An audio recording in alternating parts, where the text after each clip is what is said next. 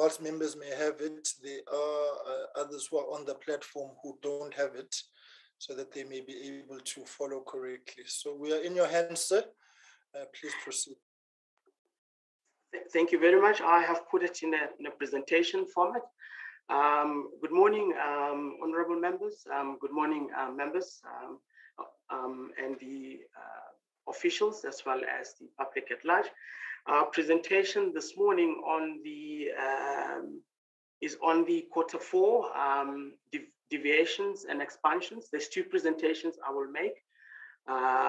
the next presentation would be on the rationale and objectives of the um, new instruction note um, that, that seeks to address a, a number of issues within the um, public procurement sphere.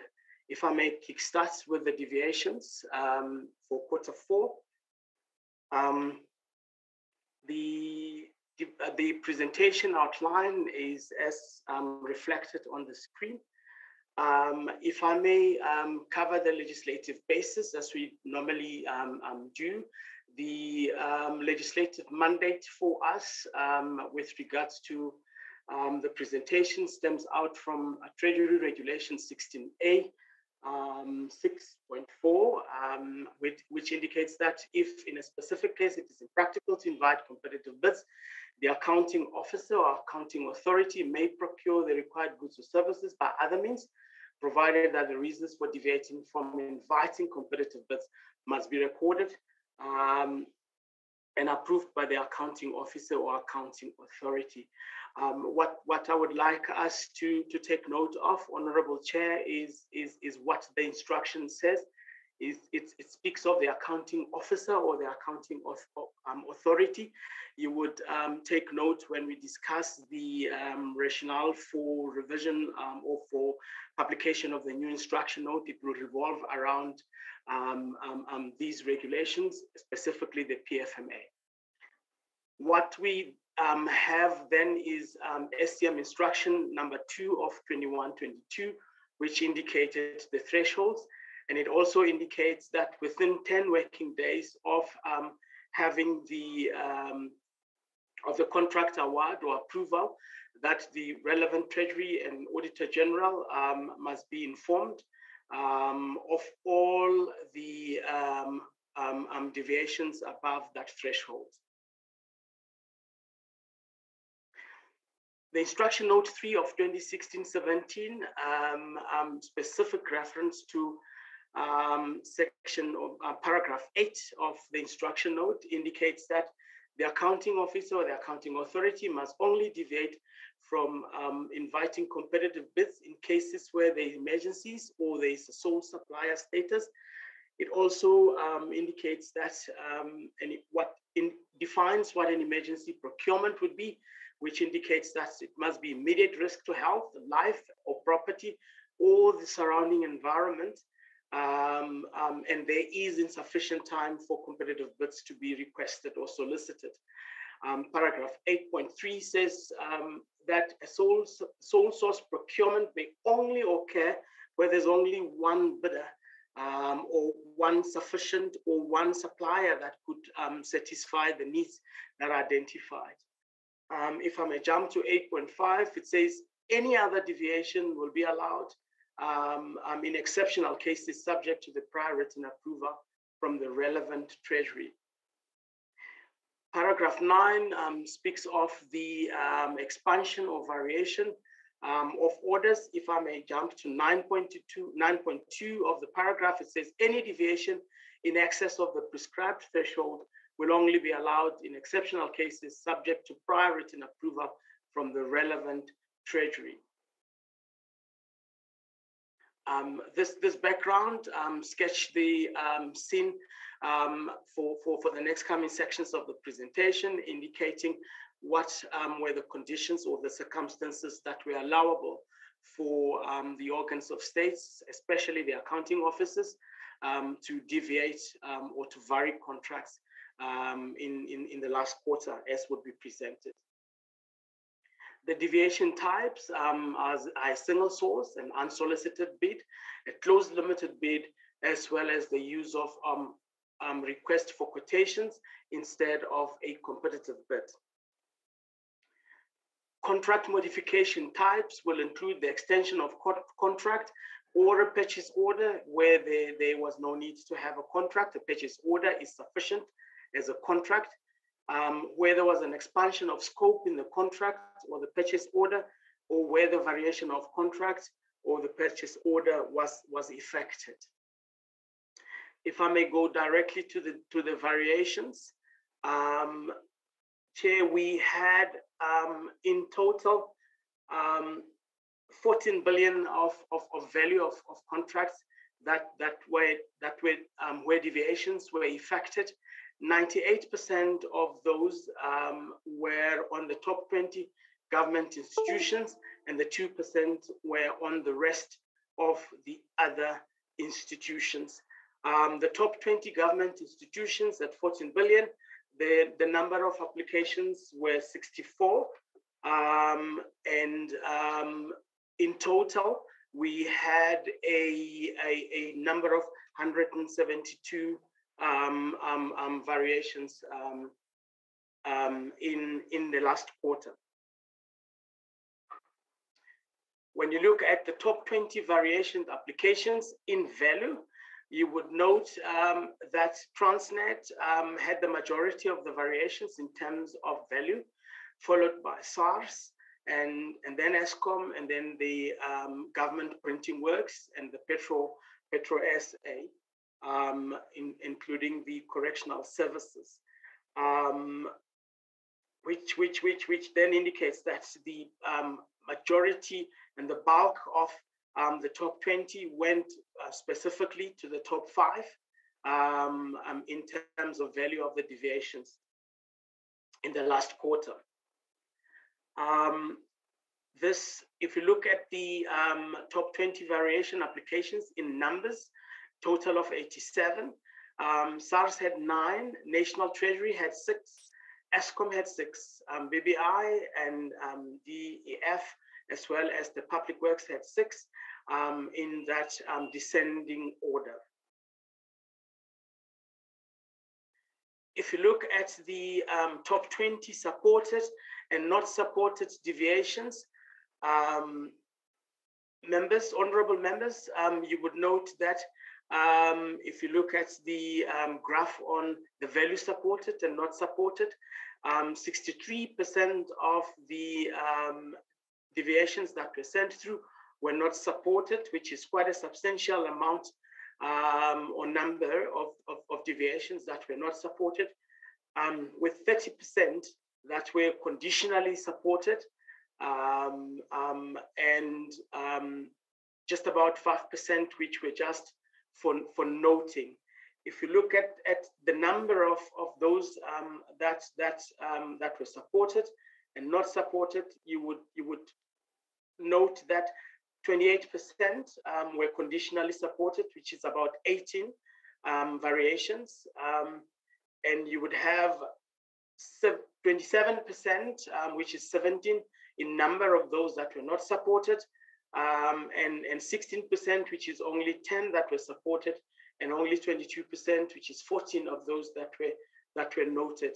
If at all um, we have received any of the deviation requests that reside within the authority um, of the accounting officer, um, we then refer them back um, to the accounting office and the authority, only 6%, which is about four, were referred back for the accounting office or the accounting um, authority to um, adjudicate on um, and, and, and make sure that they make the decision.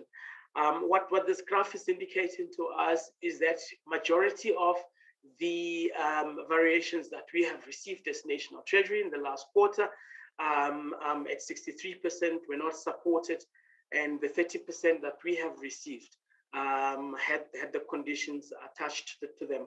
So um, quite a very small amount of them were outright approvals without any conditions. This is quite a busy slide, um, um, but it just indicates the positioning with regards to um, the slide that have that I have just um, presented. In total, 14 billion with 64 transactions that took place um, um, on the top 20. And in total, if you look at the bottom line, there's just about 172 of the deviation requests that we received from the organs of state um, in the last quarter, which is quite a sizable amount of deviations. Um, Honorable Chair, we will move to the contract modifications. Um, in the last quarter, we have received um, just about um, 162 um, requests for contract deviations. Um, if I may just um, um, um, contextualize what deviations would be, there is an existing contract, and for some reason, there may be a change in scope, there may be a change in, in price, there may be a change in the duration, whatever reasons it may be, that warrants a, a, a, shift from the original um, contracted conditions. Um, such we would call a contract modification. 162 of them were received from organs of states, with 84 um, um, um, um received from the top 20 government institutions. in total, 99% came from top 20 government institutions. I will share who they are in the next slide. Um, and only um, um, a, a, a, just less than 1% were received from the rest of the organs of states. Um, um, Eskom um, sent the highest um, in terms of value. Um, in fact, they are top 90% themselves in terms of the request for contract modification. SARS and um, Department of Health, as well as National Treasury and the Department of Basic Education, um, um, followed in that um, descending order. If we look in terms of, of, of, of numbers, um, um, you, you, you would take note, Honorable Chair, that we have CCMA at 17, even though they have a number quite a huge number. The, the values are quite small. So um, um, um, they would not feature in, in, in, in the top 20%. Um, um, Eskom had 15 um, modifications in total. SARS had nine, DBSA had eight, SA Tourism um, in that descending order. In total, we had 100 number of those in the top 20. If we look at the value supported and not supported um, um, um, pie chart, um, Chair, you would note that 87% of the modifications that were um, considered or supported by National Treasury um, had conditions attached to them. Um, and outright um, support were only 10%. and uh, I mean, not supported were 10%, and outright support were 3%. Um, if you look in terms of, of, of number, um, we conditionally supported 47 um, um, of the modifications that we received, um, and 17 were not supported, and 14 were outright supported, with only four that were noted. And, and we closed two because the organ of state did not provide us information um, as we were requesting and therefore that request for modification we would uh, um, close um, without um, um, giving any opinion or support. This is the high level presentation um, of the modification status.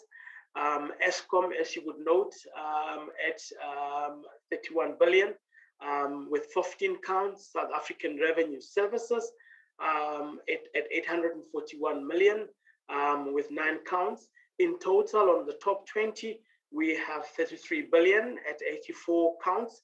Um, in total, 33 billion with 162 counts with regards to the modification requests um, from the organs of state, with Eskom um, having the bulk of those modifications. The common reasons, um, Chair, this, this slide is no different from, from um, the previous ones. the same trends um, um, um come through from the analysis of the slides. The sole supplier or utilization of single source is, is what comes. the close the request for closed bid processes still comes through. Um, there's also an element of business continuity. SARS had one, Eskom had one in terms of their strategy for business continuity. Um, there's also um, um, um an increasing trend um, with regards to business strategy and operational strategies that are implemented in the in the um, organs of states um, Eskom being one that that that cites such in, in, in their modification requests as well as in their deviation requests. Um, there's also elements of service delivery where we would not want the service delivery to be um, um, um hampered, and therefore we would not um, um, we would we would put such such conditions in place, such conditions in place. extensions of current contracts due to new tender process not concluded in time. Organs of states are not concluding the contracts. Um, this, this is one pandemic that, that creeps up. Um, um, honorable Chair, honorable members, that the organs of states do not start the procurement processes on time. As a result, it leads to them having a necessity to um, extend the current contract so that the service delivery um, continues and that there is no break breakdown in terms of service provision and making sure that government works. Um, that's that's one area that we we will we will keep an eye on. Um, unfortunately, because of um, various repository systems, um, ERP systems, we are unable to pick up when some of these contracts are going to expire. We are hoping that organs of states, with regards to what we would expect them to report on in the new instruction, we would be able to pick up some of these um, and be able to manage them from a national treasury perspective. But it still remains the um, responsibility of the accounting officer to ensure that um, they invoke proper controls in their space for when contracts are going to expire and making sure that new contracts are put in place um, before those expire. Taking into account that the supplier uh, market at the moment um, have more bargaining power with, with regards to the procurement, and therefore um, starting the process would entail um, having negotiations with them on price and negotiations on scope, and that could take a bit of time. And, and accounting officers, um, guided by the chief financial officers as well as the adjudication committees, may, may, may have to make sure that they start the procurement processes in place and timelessly. Um, continue using of existing softwares. Softwares are a challenge for business continuity, and it's something that we have to look at. Moving forward, we may have to negotiate to, to engage SITA and, and, and ensure that in terms of the software utilization in government, how do we then ensure that um, these licenses and softwares are managed. Um, there's quite a number of softwares in application in government. We see those through the application for continuous um, or continuity of utilization of these soft softwares. Um, there are also issues with regards to exceeding the 15% or the 15 million threshold, um, and the same as 20% and 20 million thresholds. Uh, majority of the requests revolve around just where there's been uh, where the scope has to be varied because it exceeds 15% um, in terms of, of, of, of um, contract value and 20% for, for the construction environment. The government to government procurement is, is, is also seen as, as an increase. Um, National School of Governments um, of Governments is, is one area where we see government to government procurement taking place.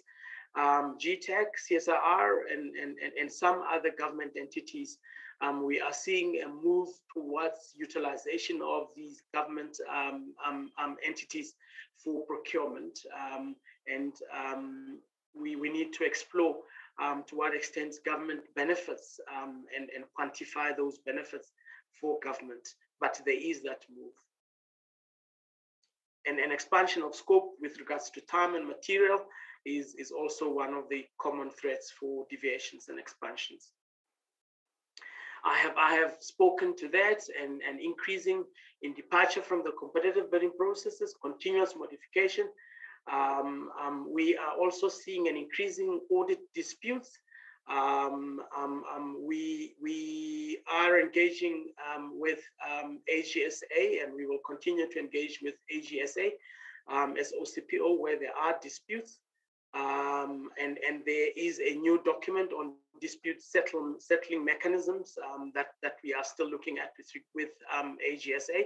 We are hoping that it will eliminate a number of these disputes that are, that are going to come through, um, particularly with the revision of the instruction that um, we have just introduced from the 1st of April.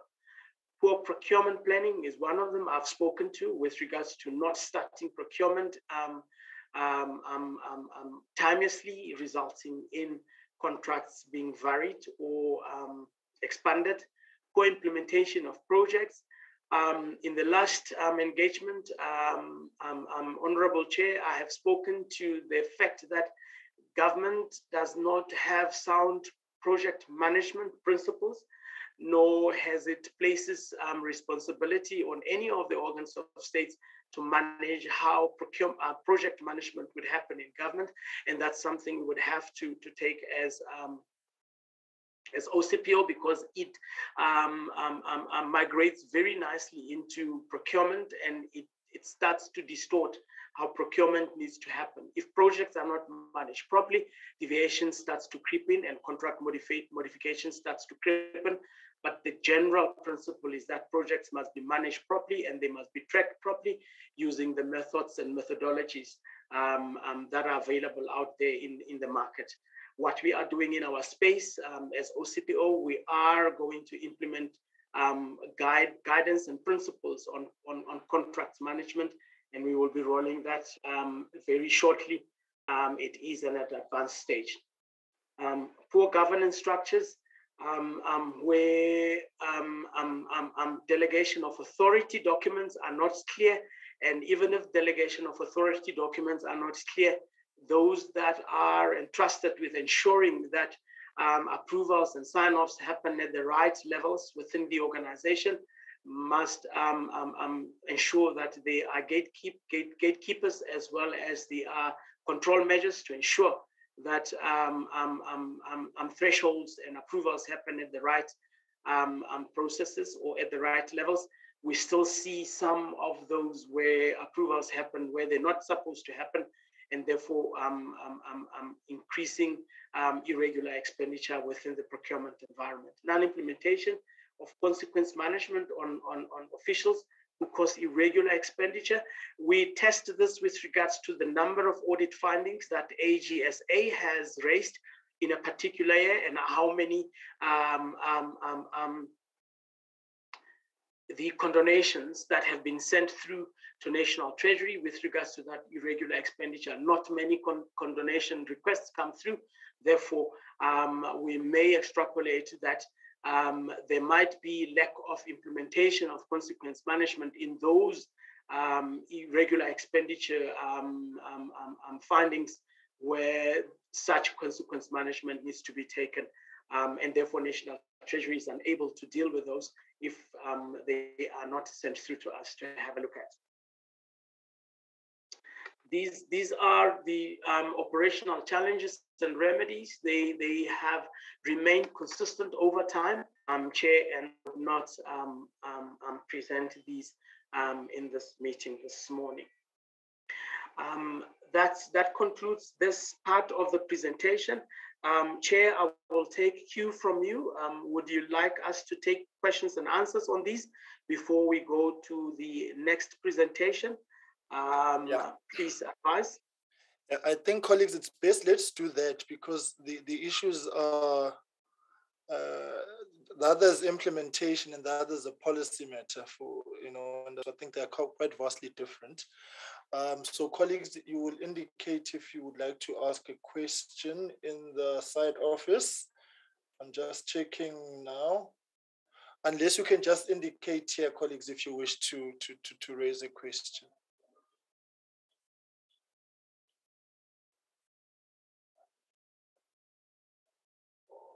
All right.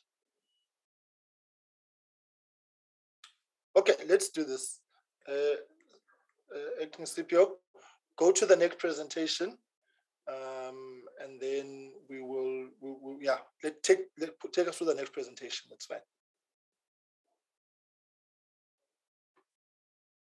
We'll, we'll certainly do that, Honorable okay. Chair.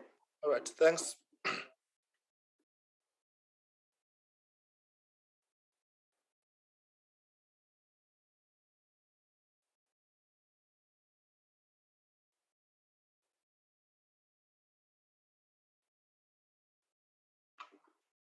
Um, thank you, Chair. Um, honorable members, the next presentation would be on the prevention and combating abuse of SCM system. This is the new instruction note, um, um, three of um, of 2021-22. That's an update um, on the provisions of the revised National Treasury SCM. We have revised instruction note three of 2016-17 um, and put together a new instruction note altogether.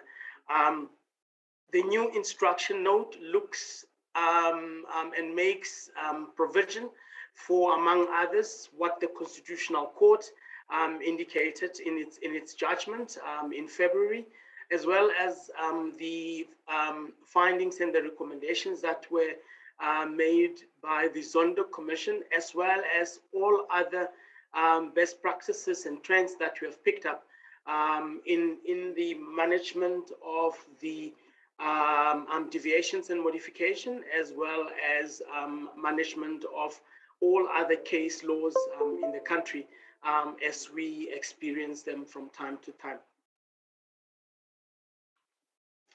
The, the contents of the presentation, we would look at the reasons why the new instruction, the purpose um, for that instruction, as well as the various areas um, that were enhanced in, in the instruction, um, and what are the um, in, um, practice notes and circulars, as well as instructions that were repealed as, as a result of um, issuance of this new instruction. And then we will conclude at, at that. I think I would start, Honorable Chair, with, with, with the rationale for the revision of the instruction. Um, in reviewing this instruction, the National Treasury, especially the Office of the Chief Procurement Officer, adopt, adopted a number of principles and approaches. The first one is that um, we, we wanted to ensure that the revised instruction that does not encroach um, on the institutional accountability um, conferred upon the accounting officers and accounting authorities by the available um, pieces of legislation with specific reference to PFMA, um, which um, the, the rationale there is that the Constitutional Court has held that conduct by an organ of states that has no foundation in some law breaches the principle of legality, which is a subject of the rule of the law, um, a fundamental value of the Constitution. Um, so the functionary entrusted with the regulation um, making power cannot stray from the parameters set by the empowering legislation. What that means is that if the Constitutional Court and the PFMA or any other um, um, pieces of legislation that already exists provide certain um, um, um framework, the National Treasury may not deviate from ensuring that they overstep their authority with regards to placing additional recommendation which are not supported by the constitution and the um, subordinate acts um, to the constitution. Um, also, we, we should not um, um, take powers from the accounting offices and accounting authorities, um, but we should be seen to be making sure that the accounting offices and the accounting authorities take accountability for what they have been entrusted to do um, by the Constitution and the um, primary legislation um, that supports the Constitution. The second rationale is, is, is, is to, to find other legally cognizable means to get institutions to do what they must do. Um, what we have found ourselves um, doing is that when organs of states are not doing what they are supposed to be doing, Honorable Chair, we wanted National Treasury to, to place, um, to take that responsibility and make sure that the organs of states do what they're supposed to do, instead of making sure that the accounting officers are accountable for making sure that PFMA's provisions are followed to the letter and that um, um, um, procurement within the area of accountability happens in line with the applicable legislation that governs SCM or that governs public procurement. Um, once again, drawing lessons from, from case law, the Constitutional Court have also held that if the minister is of the view that organs of states are failing to do what they are required to do, um, um, he must find other legally cognizable means to get them to do what they must do for, in, for an example that we can place is that he might engage organs of states politically, or he, or he could introduce a bill in parliament with a view of amending the legislation.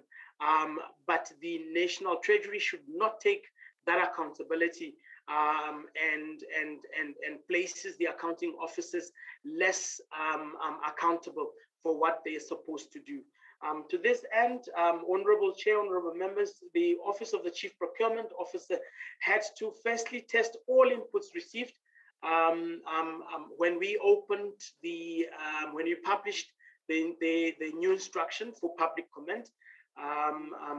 and secondly, find legally, legally cognizable means, which in this case was to provide for reporting requirements that would strengthen the transparency of procurement within institutions that forcing accounting officers and authorities to be accountable because of the proverbial light be shown on them.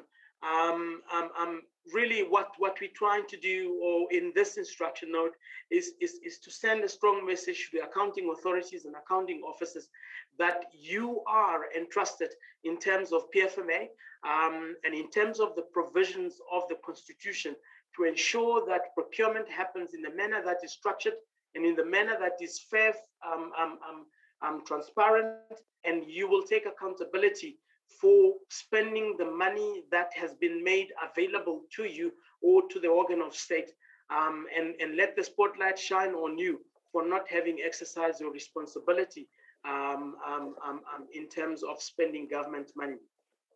The amendment of the regulations under the PFMA and the development of the public procurement bill may be the mechanisms that can be used to provide such opportunity for National Treasury as well as the Minister to improve um, efficiencies in the public procurement domain. Um, the next rationale, um, um Honorable Chair, Honorable Members, um, is to bridge the disparity between government departments. What happened was the Treasury Regulation 16A um, excluded some of the schedules um, of the state um, owned companies um, um, from th that regulation. What we are doing now with the new instruction is to ensure that all organs of states are included in the instruction and making sure that they are particularly included to make sure that the ethical standards as well as avoidance of abuse of the SCM system is also applicable to them. To this end, the revised instruction um, differs, differs somewhat from the um, strict format of being a directive, but has in various places um, um provided the context for, um, for government to ensure that it, it, it does procurement efficiently. Um, the areas where we found um, gaps are the um, um, general conditions of contract, standard bidding documents, and, and, and so forth. And those we have tried to close the loop on. The fourth rationale was um, considered the extensive inputs by stakeholders, some of which were opposed to others. Thus, the OCPO had to ensure that a balance was struck between competing interests while maintaining respective legislative mandates. Um, we had um, an, an opposing um, views in terms of the um, um, um, inputs we have received from our public participation. some felt that the, the instruction note 3, 16, 17 was adequate enough to provide the framework required for National Treasury to exercise its responsibility. While on the other hand, um, we, we, we, with regards to objective number one, where National Treasury did not want to encroach into the um, accountability of the accounting officers as placed by the Public, um, Public Finance Management Act. Um, um, we, we have received some of the organs of states that says provide um, accountability to the accounting officers and let them be accountable um, um, for, for the procurement of goods and services in line with the PFMA and any other um, um, primary legislation supporting the Constitution. The purpose then of the revision was threefold, um, with the instruction um, providing the following measures to improve accountability and transparency in the procurement of goods and services, to reduce the abuse of the supply chain management system, and to ensure the value for, for, for money um, um, in um, within the SCM um, environment. Therefore, there is a shift in focus to reporting to various accountability structures, enabling um, the relevant treasuries, including National Treasury, to perform its monitoring role within the confines of the prevailing legislation. So instead of National Treasury, um, Honorable Chair, Honorable Members, um, um, being operationally involved in the or in the organs of state, rather shift from ensuring that their accountability rests with ensuring that they perform the monitoring function, um, um, utilizing the prevailing legislative environment that exists within government. All relevant role players, including um, accounting officers and authorities, are enabled to operate within their mandates, within their operating, operational, um, as well, um, or tactical, as well as the uh, strategic environment. One of the things that the new instruction um, um, seeks to, to address is issues of investigation of complaints and allegations of abuse. Um, um, um, um the instruction provides for the register to be established, maintained within the institution that deals with logging complaints and allegations of abuse of the SCM systems. Um, we, we to date not have had a register um, of such. Um, now we will be, um, the organs of states will be required to record. Um, the reason for this is that National Treasury would receive this and therefore manage the trends and analyze the trends and respond accordingly with regards to the gaps that may exist within the, the legislative environment or to look at what would be the um um, um, um, um, um, the reasons from a behavioral point of view with regards to officials in government that or what would be the behavior with regards to the supplier behavior. Remember honorable chair honorable members that corruption would happen in two folds from the officials point of view as well as the, from the suppliers point of view, um, and, and, and, and, and we would like to remedy it um, from both angles. Um, initially, the draft had included require, requiring um, a report of the allegations of abuse against the head of the relevant treasury to be sent to the executive authority to solicit opinion on how such allegations should be treated, bearing in mind that the drafting team was concerned that instruction would be overarching. Um, what what we we we we we we then corrected was um, let um, the um, executive authority receive the report um, and let the executive authority then exercise their executive authority over um, the reports that they receive.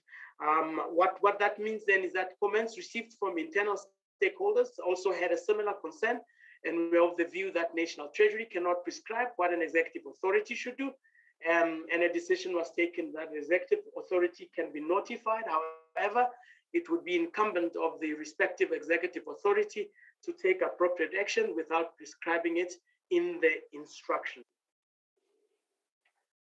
The, the next one, that um um, um, um, um, enhancement we have done in the instruction was the treatment of disclosure and declarations. the instruction provides for institution to identify and manage um, all potential conflicts of interest and other disclosures made by persons participating in the procurement processes to en enable the accounting officer and the accounting authority to make informed decisions about the person participating in the SCM process. The review that um, OCPO performed um, brought to, to the forefront um, a number of inconsistencies that exist within the broader public sector legislation and the expectation that SCM prescripts um, resolve them. For example, non employees of the states are barred from the public sector procurement despite the utterances in various um, platforms which give that impression. The Public Administration Management Act um, of 2014 um, defines employee and public service. And when reading these um, together, they um, exclude employees of state-owned companies. Therefore, it is not clear as to what basis, what legislative prescripts may SCM public procurement use to determine what an employee can and cannot do. Um, so we have um, clarified that in the instruction, um, and therefore the SOEs, SOEs are, roped, are roped in, um, in in the new instruction. With regards to the extension of the application, the previous um, standard bidding documents, um, 4, 8, and 9, were not applicable to Schedule 2, 3B, and 3D public entities, but the revised standard bidding 4, document B, includes these other entities as well. So basically, when it comes to issues of dis disclosure and declarations, um, we had challenges with a definition of employee. We also had a challenge with the inclusion of some of the schedules um, of the um, um, um, um public entities, especially those two, three, two, 3B and 3Ds. We have narrowed the gap and we have closed that gap in the new instruction and made sure that they are included um, the, the, issue of restrictions of persons from conducting business with the state um, um, during the review of, of, of, of, the instruction note 3, 16, 17, um, OCPO um, established that when it comes to the restrictions of suppliers um, with regards to PFMA related transgressions, there was a challenge in that the general conditions of contract was not issued with application to the schedules 2, 3B, and 3D public entities. Hence, the vacuum in the case of these entities, um, as, as Regulation 14 of the of the public procurement um, of the PPR regulations um, could not apply to them. Um, but we have closed the gap now um, um, when it comes to restriction of suppliers, and 2, 3B, and 3D are therefore included in the um, current instructions. And it, in this instruction, we have unpacked the process to follow when restricting a person in terms of PFMA. Um, I may have to indicate to, to, to the Honorable Chair and the Honorable members that um, I'm only speaking about restrictions um, in, in line with PFMA because the um, regulations, um, which also um, indicated restrictions, were declared invalid, and we have dealt with with that one um, in our previous deliberations. Um, only um, the um, suppliers may only be restricted in terms of PFMA um, with the invalidity of the um, public procurement regulations of 2017. We've also closed the gap between deviations from normal bidding processes and expansions and variations if you could excuse me a second, um, um, Chair.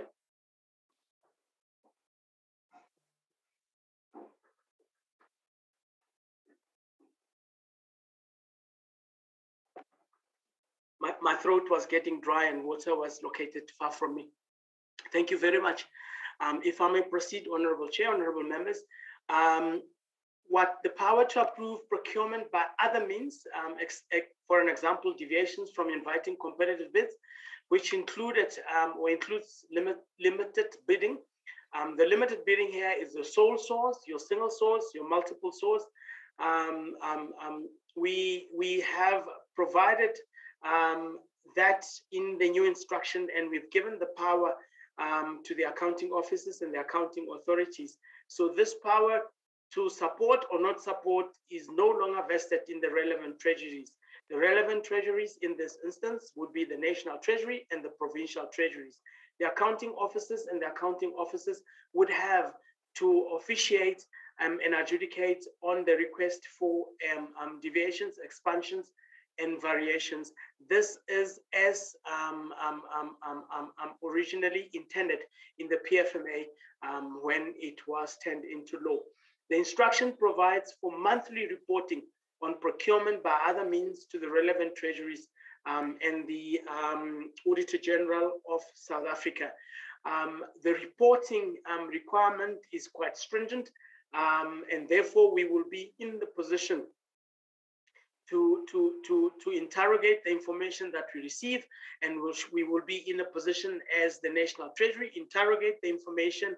Um, if there is a need for us to do an investigation into some of these deviations and variations and modification, we will do so in line with the applicable um, legislative framework that National Treasury may invoke to be able to make sure that accounting officers and accounting authorities are, are held accountable.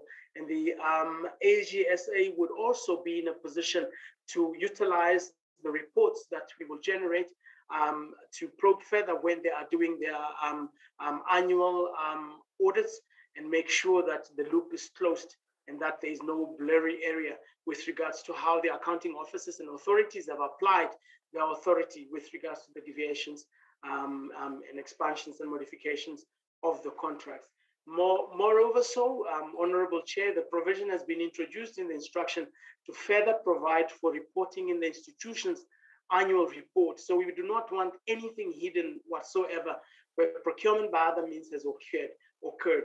Um, so the reporting in the annual report um, um elevates the transparency of this type of procurement and reduces any element of obscurity um, of such transactions from not being known by, by, by um, public as well as the executive authority. As a result, Office of the Chief Procurement Officer will provide input um, to the compliance reporting framework that is currently now being issued by OAGO.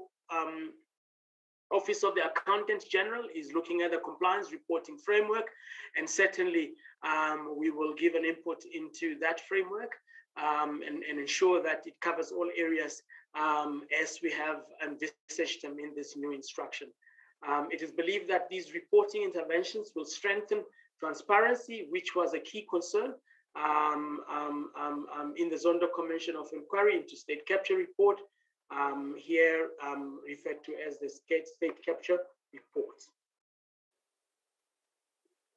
The, the, next area that we have cemented in the new instruction um, is the bid committees.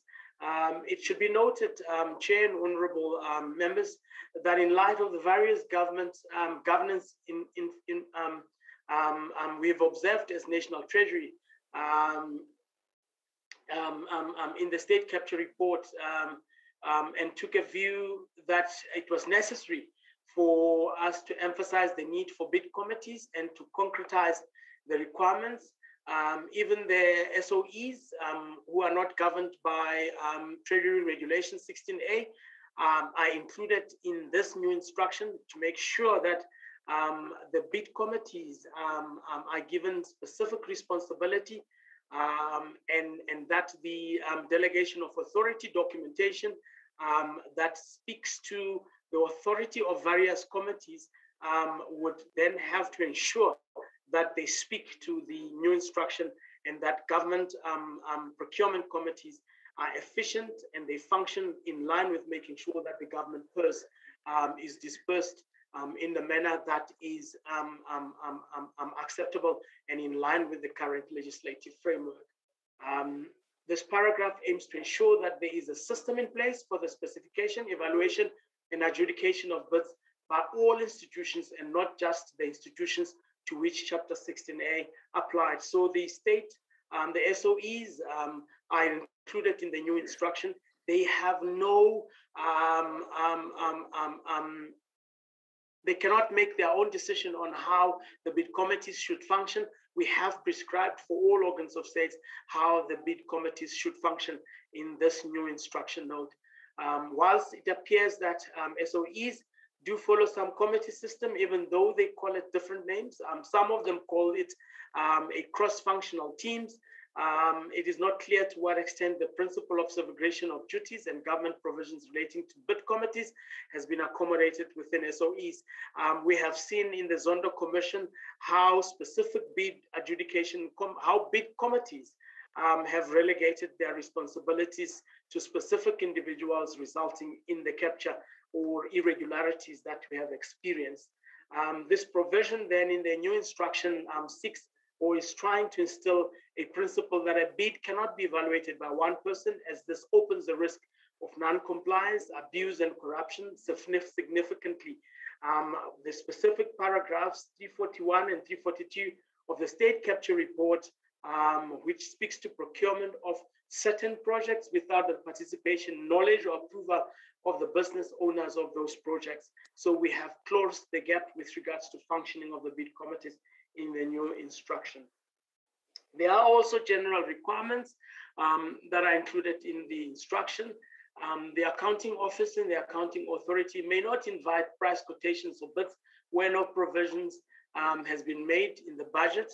Um, overrunning of the fiscus is something that we are trying to avoid and um, we are trying to make sure that the accounting offices will be and, and the authorities will be held accountable for having spent the money that has not been made provisions for in the in the budget, specifically in that financial year and in the outer years. Um, the accounting officers must ensure that cash flow is sufficient um, to meet the contractual obligations. Therefore, it needs to speak to the budget on a year-to-year basis. Um, must pay suppliers um, within the 30 days of receipt of, of, of invoices or a period provided for in the contract. We are cognizant of the fact that some of the SOEs pay within um, 15 days of receipt of the invoice, um, um, and some generally stick to 30 days. But generally, the principle um, um, um, that that executive holds is that within 30 days, suppliers must be paid. We are no longer going to tolerate a situation where suppliers go insolvent because government has not paid them um, for, for, for, for goods and services that um, they duly qualify to be paid for, where there are no disputes that have been lodged and there hasn't been any court um, um proceedings um, for the disputed um, invoice. That accounting offices and authority may not place orders with suppliers for goods and services to be received in the current financial year and arrange with suppliers to be invoiced and payment to be made in the next financial year. Um, we have found instances um, where the contract is due to lapse in this financial year and payments is due to happen in this financial year because the organs of states um, do not have finance in this financial year, they delay payment and they then start um, spending money in the next financial year, resulting in draining of the fiscus in the next financial year. And that's something that we would like to discourage with regards to this instructional um, um, the accounting officers and authority must also ensure that no prepayments are made prior to receipt of goods and services unless required by the contract with the supplier. Most of these provisions, Honorable Chair, um, Honorable Members, um, were included simply because um, um, the Office of the Chief Procurement Officer has seen how supply chain management um, has been um, um, crippled with regards to um, non-payment of suppliers, how the non-availability of budget um, um, happens, and, and, and how procurement happens where there is no budget, where there was no procurement plan provision um, for procurement of some of the goods and services, and there are no compelling reasons for that deviation from the procurement plan as issued to the National Treasury um, um, um should have been should have occurred. Um, um, some of the um, um prescripts um, were not applicable to 2, 3B, and 3D, and we have narrowed the gap. Honorable Chair, Honorable Member, you would note that I, put emphasis on, on, on, on, Schedule 2, 3B, and 3D. that's, that's where most of the SOEs play, and we're narrowing the gap and making sure that they are included and that their procurement happens when in line with the rest of the other government institutions um, and that there is a consistent application of um, public procurement prescripts within um, government. Um, there are also Hello. general. There, there are also general comments and observations. Just, just one second. Uh, hi, can we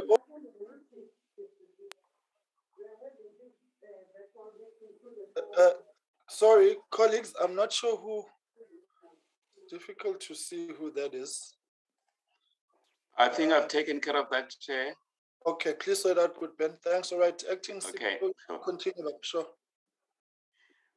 Thank you very much, um, um, Honorable Chair, Honorable Members. The, there are general comments and observations.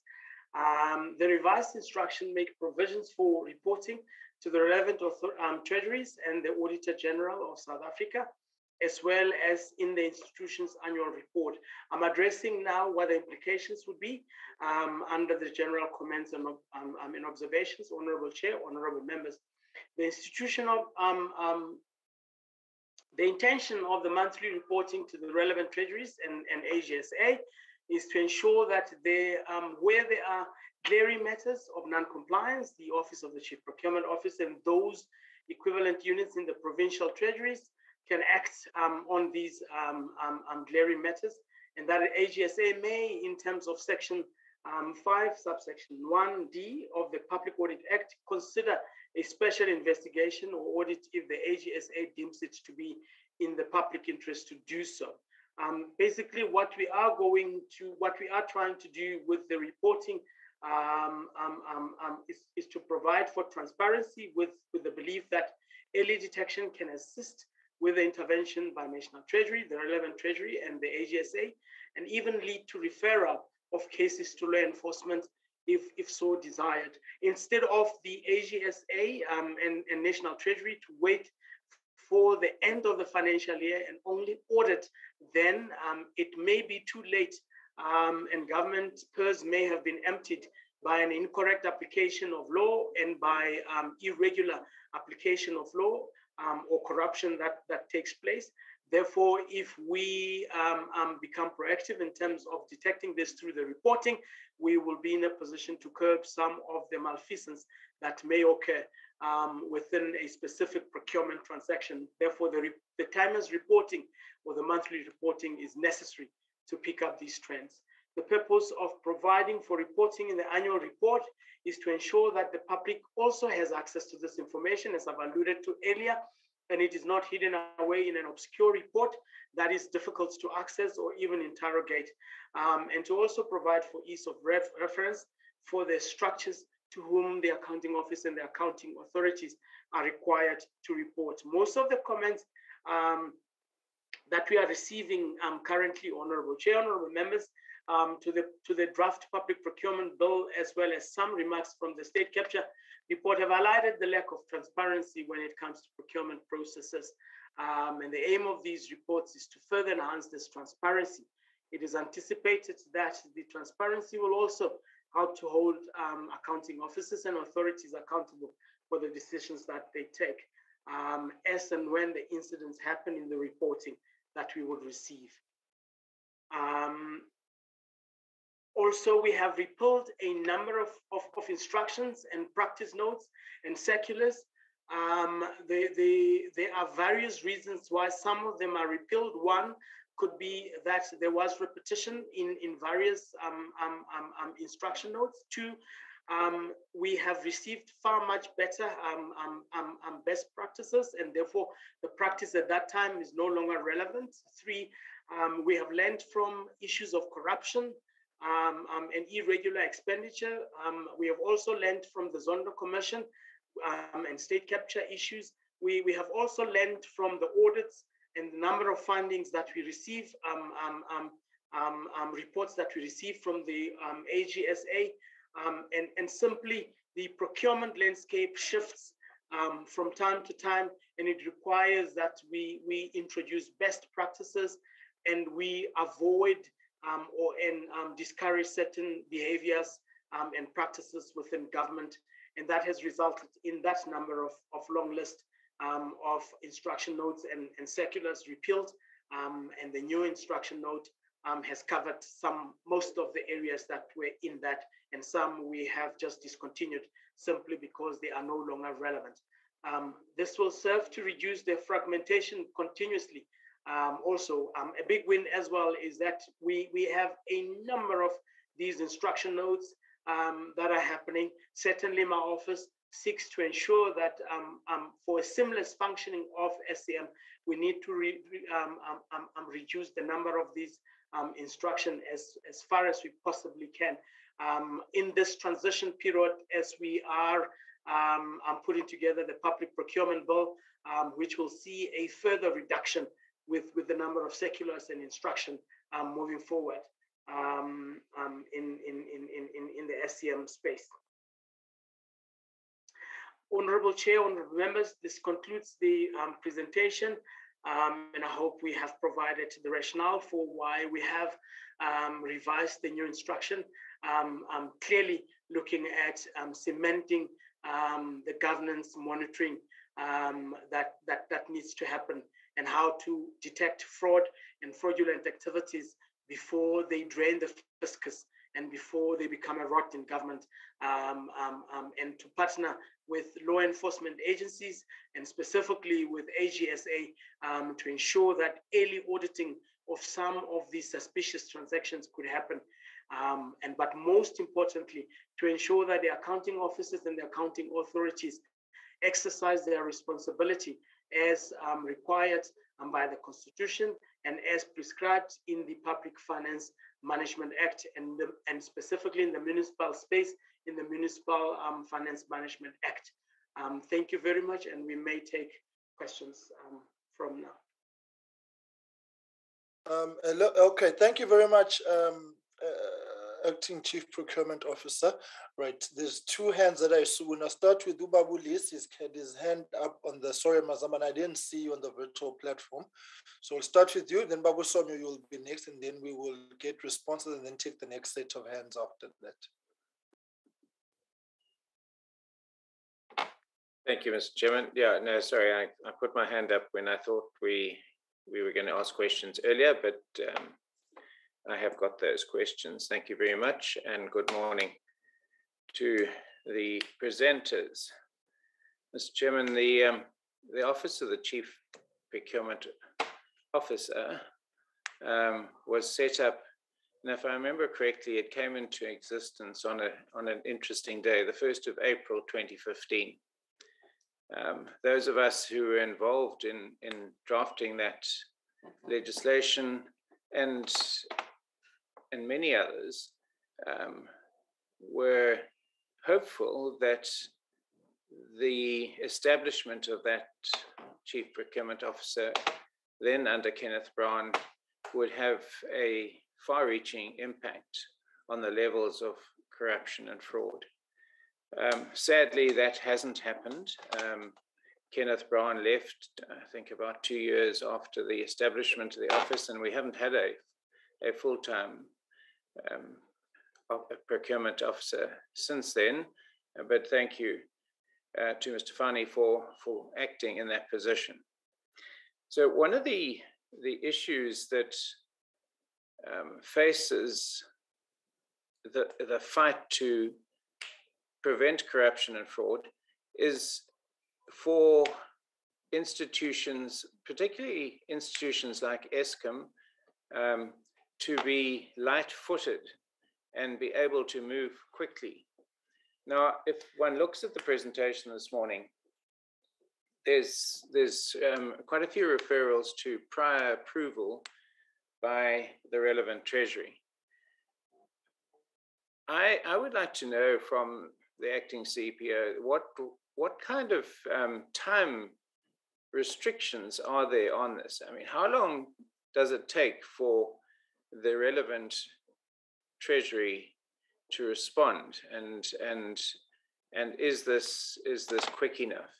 I ask specifically because when Mr. Jarana took over as CEO of SAA, was one of the first issues he raised um, was the slow responses in trying to, to run a commercial operation like an airline. And of course, we all know he, he eventually threw in the towel and, and left.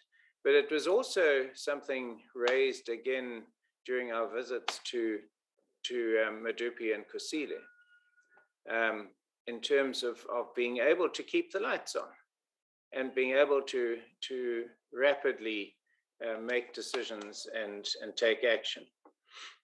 So I, the question really is, are there any um, time restraints on these approvals being given in order to ensure that services take continue unabated. The other one is this question of, of, of sole source. What we found at Medupi and at Kusile was the issue of emissions control being in itself an issue, which we won't deal with here, but the, the establishment of the plant being a sole source was being challenged by National Treasury, I assume, or Treasury of some sort, or the procurement office, in the sense that the supplier of the plant uses subcontractors for certain plant within the plant. Um, and this was inhibiting the, the progress on, on, on, on modifications and, and maintenance of these uh, emission control plants, which in turn, during one of the worst weeks of load shedding, caused losses in generation capacity.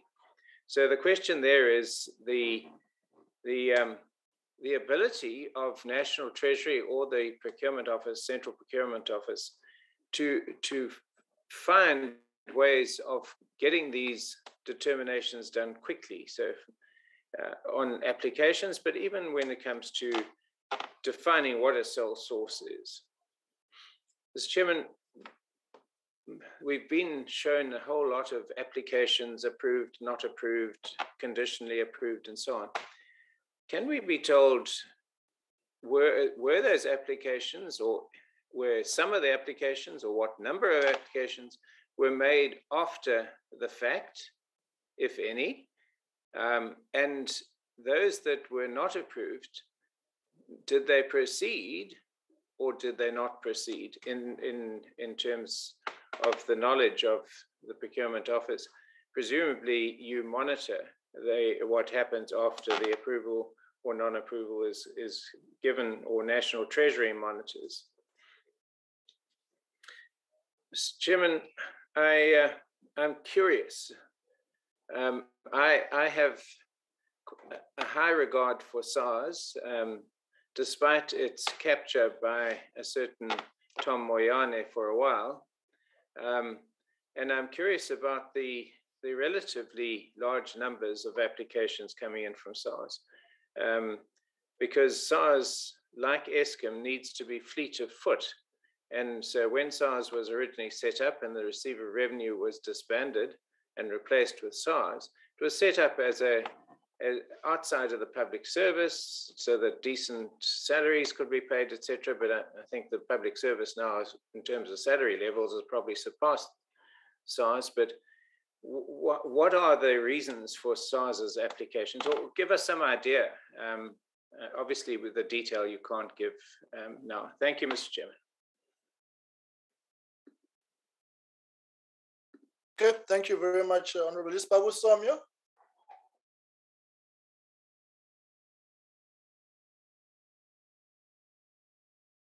Thank you very much, uh, morning colleagues.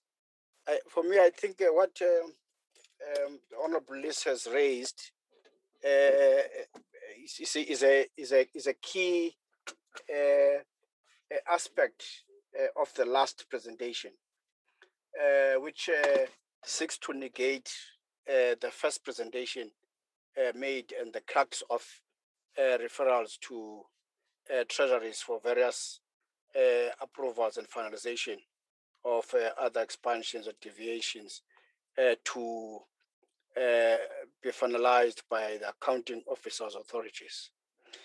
And, and my, my question therefore is um, the role of the procurement uh, office uh, in terms uh, of the initiation of these and mainly this the, the, notice which has been presented to us and to the effect that uh, if you listen from the first presentation made, uh, it tells the story uh, that that that the ju- justification uh, of movement uh, from what we have seen uh, in terms of the quantities and the quality aspect uh, of what we want to see in terms of service delivery, whether in terms of time, in terms of price, in terms of decisions, uh, is, is, is, is, is a very subjective uh, move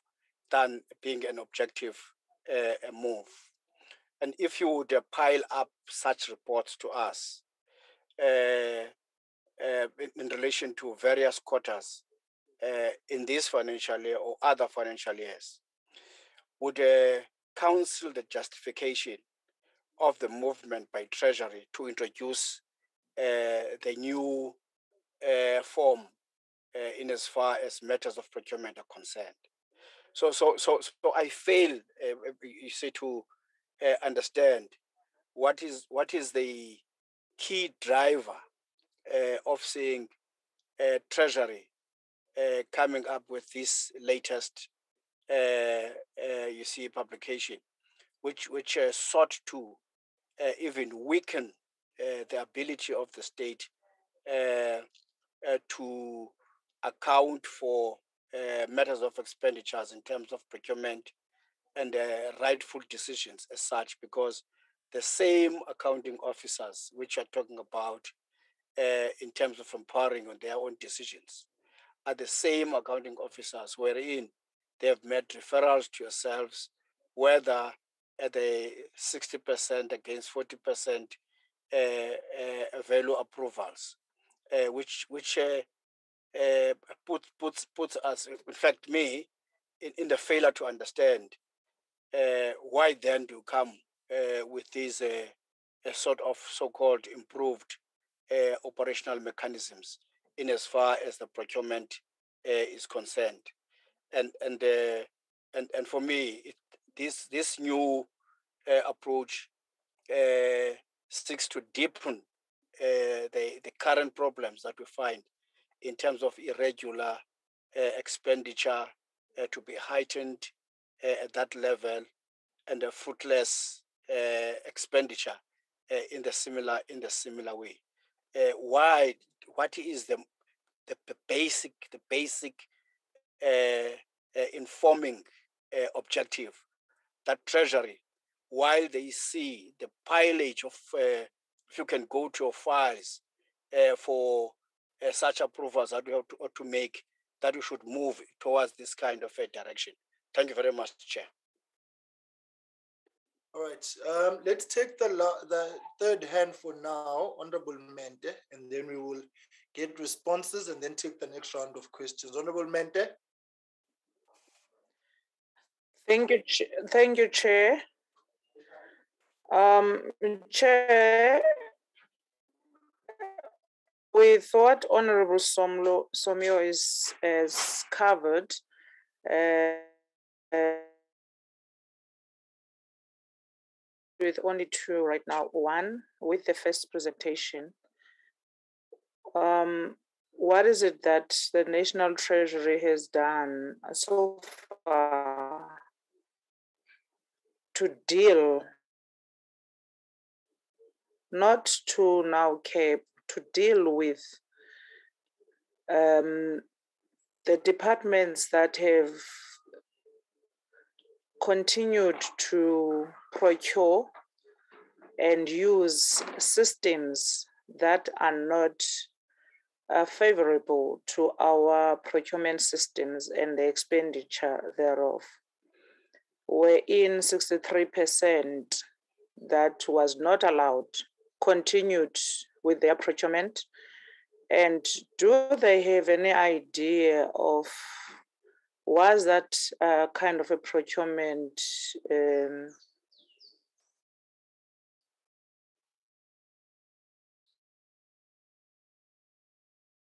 Honorable Mente, I think we are losing you. All right. Um, Honorable Mente? Honorable Mente, we, we are losing you. Uh, all right, let's let's do this. Uh, National Treasury, um, please respond to the questions of Honorable Lees and Honorable Somyo. Uh, and then System put Ben, please just try and get hold of Honorable Mente so that she can uh, work on her connection and then we'll take as soon as she's readily available for that. Let's get responses to that. Honorable Nkonto, you'll be first in line in the next round of questions. Right, National Treasury. Um, thank you, um, Honorable Chair, Honorable Members. Um, if I may um, respond to Honorable Lees, um,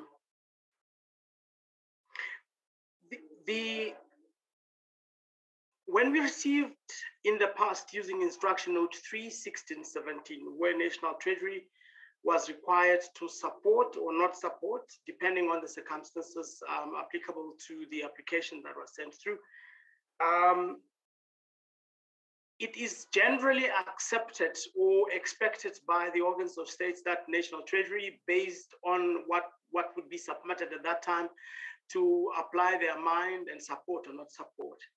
There has been instances where National Treasury requested additional information because there were blurry areas that National Treasury needed to make sure that the areas are covered um, before we actually um, voice our opinion with regards to supporting or not supporting of um, the deviations or the modification that were sent to National Treasury. That has resulted in some of the um, applications that were sent through um, um, prolonged, um, where National Treasury was number one, maybe awaiting information. Number two, the information provided was irrelevant and inconclusive. Or number three, the organs of states have not submitted that information. Number four would be there would be instances where internal to add to, to national treasury, we need to have a conversation. For an example, where public finance has to um, um, um, indicate what would be the financial risks of um, um, approving such a deviation or where the oversight or the, the, the division that, that plays an oversight responsibility on um, SOEs would also have to pronounce on, on that application. So an application would vary from time to time. Um, Honorable Lees has indicated that there were sole sources um, or sole supply applications that were sent to National Treasury. The instruction note 3, 16, 17 was very specific that in instances where a sole supplier um, um, um, um, um or the organ of states wants to use a sole supplier, the accounting officer had the authority to approve such a, a, a, a, a supplier. Um, there was no need for anybody to bring anything to National Treasury or any application for a supplier for sole source there has been quite a number of, of, of, of, of, of, statements made by Eskom specifically um, that National Treasury um, um, takes too long and wants to approve the sole suppliers. That is not correct. Um, sole suppliers um, um, were delegated to the accounting offices to, to adjudicate on National Treasury intervention was not, was not required and still is not required where we have received um, an application for a single source, we adjudicated that as such. If we have received in the past an application for a single source, um, um, but in our opinion, and based on the information at our disposal, that it was a sole supplier, we have referred that back to the accounting officer to adjudicate and make his decision and, and apply. Um, um, all the matters that we officiated on and we have formulated our opinion, whether it's a single or not, um, single source or not. Um, we have given reasons why we have indicated um, to um, um, um, our support or not supported in that instance. Honorable Lees, we have tried as far as we possibly can to process um, these and we have reduced the time um, considerably. Um, but the volume of work that we have received um, um, for the deviations um, is, is probably one of the secondary reasons why we have also considered making sure that instead of National Treasury, with limited operational knowledge of what's happening in, in, in, in the organs of states and with, with, with only one functionary that is, that is technically qualified to, to, to interrogate the technical reports that, that we have received. Um, therefore, it, it was one of the secondary reasons why we, we said the move now to ensure that the accounting officers make um, um, um, um, the, the places that, that the instruction must place an accountability to the accounting officers should happen and it should happen now. Um, one, one, one, one of the other questions that Honorable Lees asked is um, he would have wanted an indication um, of, of which of the um, um, um, requests for deviation and modification happened after the fact. If such um, happened after the fact, our response as National Treasury would have been National Treasury does not support um, such a modification or deviation because it happens after the fact. We would have captured those under the um, not supported um, um, um, um request for deviations and modification in our presentation. before I give Dr. Manyati, who's standing in for Ms. Basani Dekers in, in governance and monitoring area, Ms. Decker has, has bereavement in the family um, to respond to SARS. Um, let me respond to um, Honorable Somia and Honorable Mente.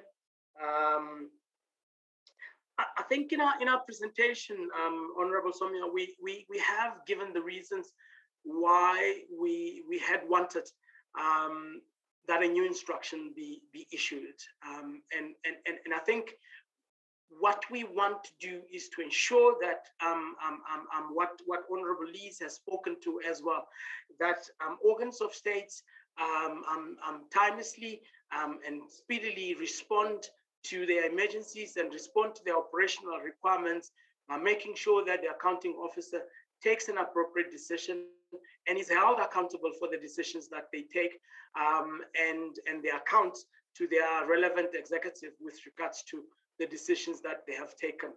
Um, um, um, the move to have National Treasury to, to, to place a word on, on, on, on whether something is single source or not um, um, um, has been as a secondary reason for, for, for, for the introduction of the new instruction note, given reason why it was important as well that the accounting officers um, take accountability. The PFMA um, on its own indicates that um, what the accounting officers can do.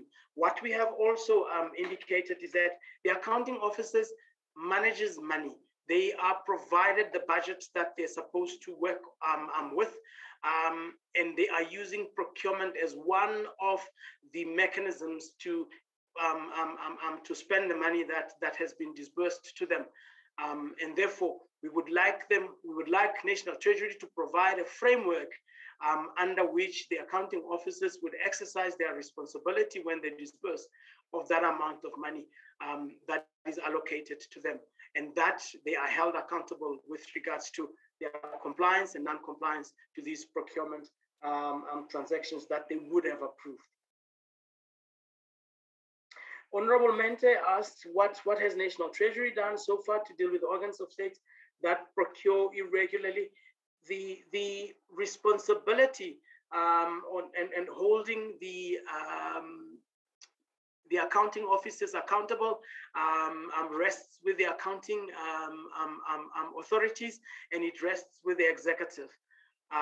what National Treasury does is to follow up with regards to all the audit findings um, through our condonation processes to make sure that all the deficiencies that happen in the process of taking the decisions that led into irregularities have been rooted out and all the officials that um, should be held accountable um, um, um for the irregular procurement have been brought to book with regards to the um, irregular expenditure framework that we apply um, for all the irregular expenditure um, um, I must add also that the internal audit processes, um, as well the, the, the, um, the, audit committees are supposed to make sure um, that all the irregular expenditure or the audit findings that have been raised by the um, AGSA are followed through and that the corrective actions have been put in place even before they come for a condonation process with National Treasury to make sure that the sound processes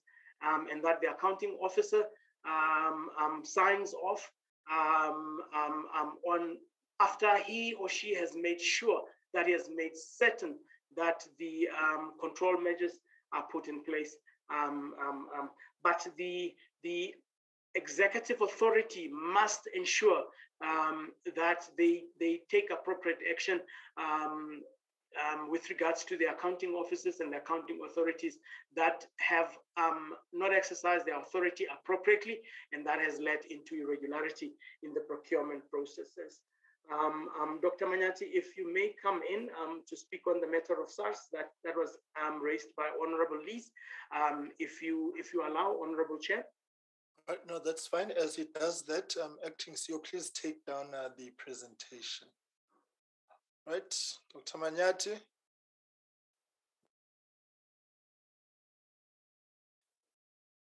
Uh, thank you, thank you very much, uh, Mr. Uh, Fani.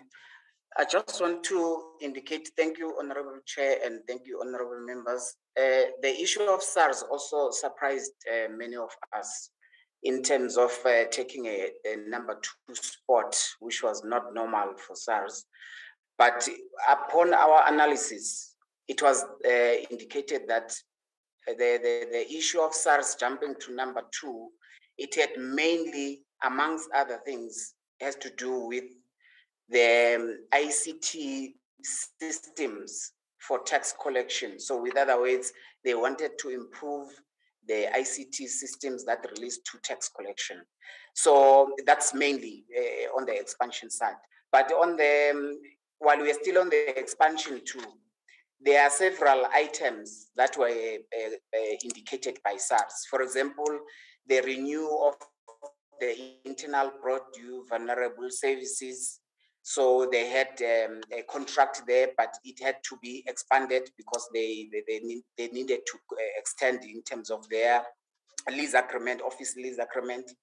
And uh, there was also a network carrier infrastructure services that relates to the ICT modernization of tax collection and also the issue of um, uh, legal services. They had legal services that were incurred, so those cases had to be extended because the, the lawyers that were dealing with some of the actions or some of the cases um, that were extended. You know, in South Africa, some of the court cases can go on and on. So, in that case, then the extensions were required. So, that is in terms of the um, expansions. Even though on the expansions, and it amounted to 841 million, as they are number two from Eskom of 31 billion. Out of that 841 million, um, we did not support 4 million, we did not support 44 million, we did not support 155, 115 million. So that indicates that a bulk of the applications out of these uh, 100 and, um, 841 were not supported, with only one that was conditionally supported, which was 90 million. And then the rest uh, when were then supported, which is four uh, amounting to 2 million, uh, 468, 112 million, and then four, um, uh, also 4 million. So basically, that those were the reasons why we had um, uh, expansions, uh, Eskom jumping to number two, which was not normal. And on the side of the, uh, the deviations, similar cases were uh, noted there uh, SARS, uh, we know that SARS do have um, a sniffer dogs where they need um, uh, to, to, to enforce law, SARS law. So they had um, a huge contract there that they wanted to deviate in order to get the veterinary services to service their uh, dogs that they are using in their investigations. And majority of the deviations also included the res- residential accommodation, uh, in the areas of um, uh, Manguzi, Bay, Northern KZN, because those areas where basically don't have any uh, official like flats in the in, in the in the big cities. It's it's a rural area, so if you get a, an accommodation, you just have to go to, with that accommodation. So hence, it amounted to be a deviation. Majority of them were residential areas uh, in terms of deviations, and then. Um, there was also the issue of sale of generators from the, the, the, the SARS revenue uh, building in Benoni that also created the issue of a deviation, and that amounted um, to 438,000, and we supported that one. And uh, another one that might also have a big impact that we conditionally approved that amounted to 2.3 billion was the issue of um, business flow chart within SARS. So it has to do with the tax registration, tax audit, bank details changes, and there are many issues that relates to tax collection. So that is within the SARS main uh, the core function. So we supported that on conditions. We did put some conditions there. That was the only one that was supported on conditions. And there are various others that has to do with the lease agreements and the, the, the, the Durban office uh, of, of SARS had to do with the forklifts and I mean the leaves and so on. So there are many, and the OR Tambo SARS office, they also had uh, the issue of uh, um, unarmed guarding services, and of which those were supported and they amounted to 5 million, the other one amounted to uh, 1 million, 1.6 million. So basically, in the nutshell, SARS moved to number two spot because of those uh, peculiar conditions, and majority of those were not supported, followed by those that we supported but with conditions. So Thank you very uh, much, uh, Honorable Chair. I think I will uh, park there for now. Okay. Thank you very much, uh, Doctor. Right, uh, Honorable Mente, are you? Is your connection uh, fine? If not, let's go to Honorable Mkonto, and then we'll take the. just system people can just assist me here with the. No, never mind. Let me do that.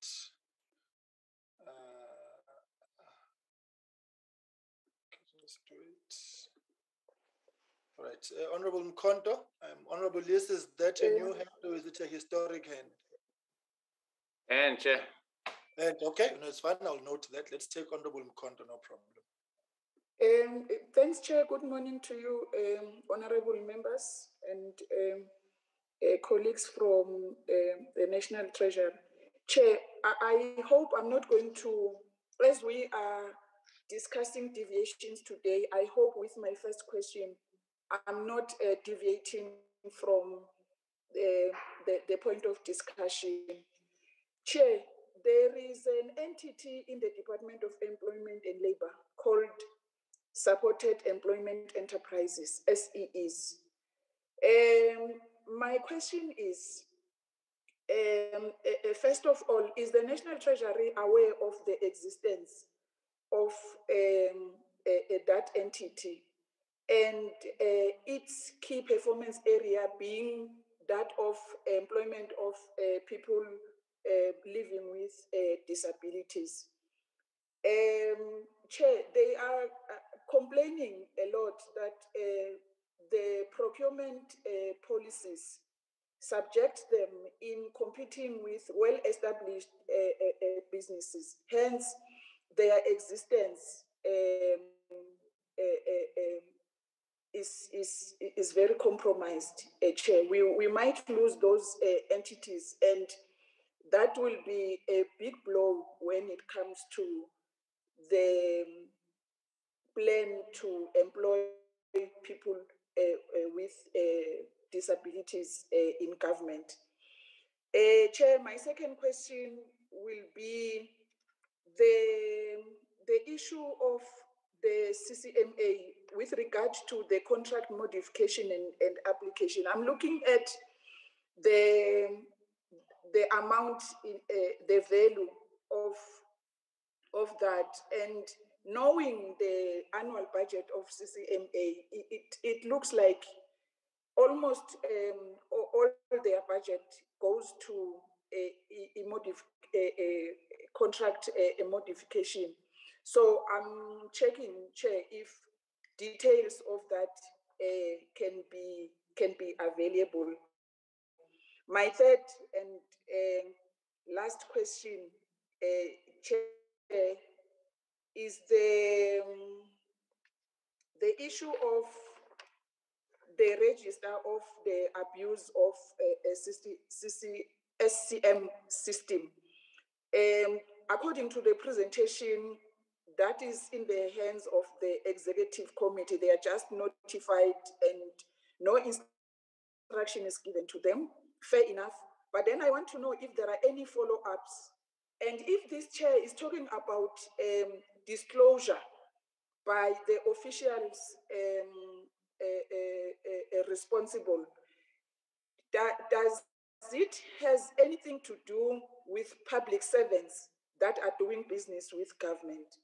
And if that is only given back to the executive to deal to deal with it, are there any follow-ups by the treasury to make sure that the executives responsible they do uh, uh, uh, execute consequence management? Thanks very much, Chair. Thank you much. I'm going to write. Uh, let's, uh, Honorable Lees, just stand by one second. Honorable Mente is back, so she can just complete what she was saying. She saw that that problem, and then when she's done, you will come in, Honorable Lees. Right, Honorable Mente.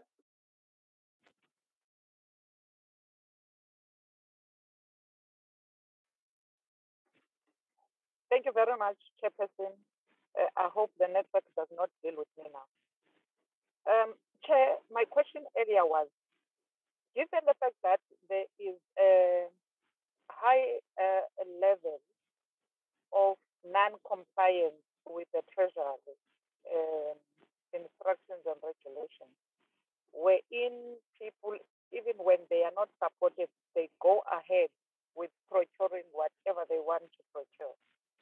And in many cases, it results to a very fruitless and wasteful expenditure. Now, my question is, does the National Treasury have the details of uh, these different departments? And what is it that they are doing to deal with this particular case? Because if you look at the land bank, DEH um, and you look at the land bank, let me make an example with the land bank. When we undertook um, oversight the previous week, Land Bank was visited by the Standing Committee of Finance and was established that it is bankrupt. It continued to procure whatever services it was procuring and borrowed people money whom they did not return any of those money. And therefore, there is no value for money on anything that they have done. So, what has National Treasury done to deal with such cases where people continue to ignore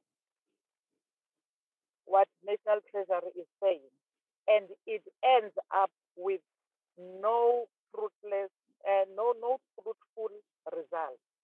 It ends up with a fruitless result.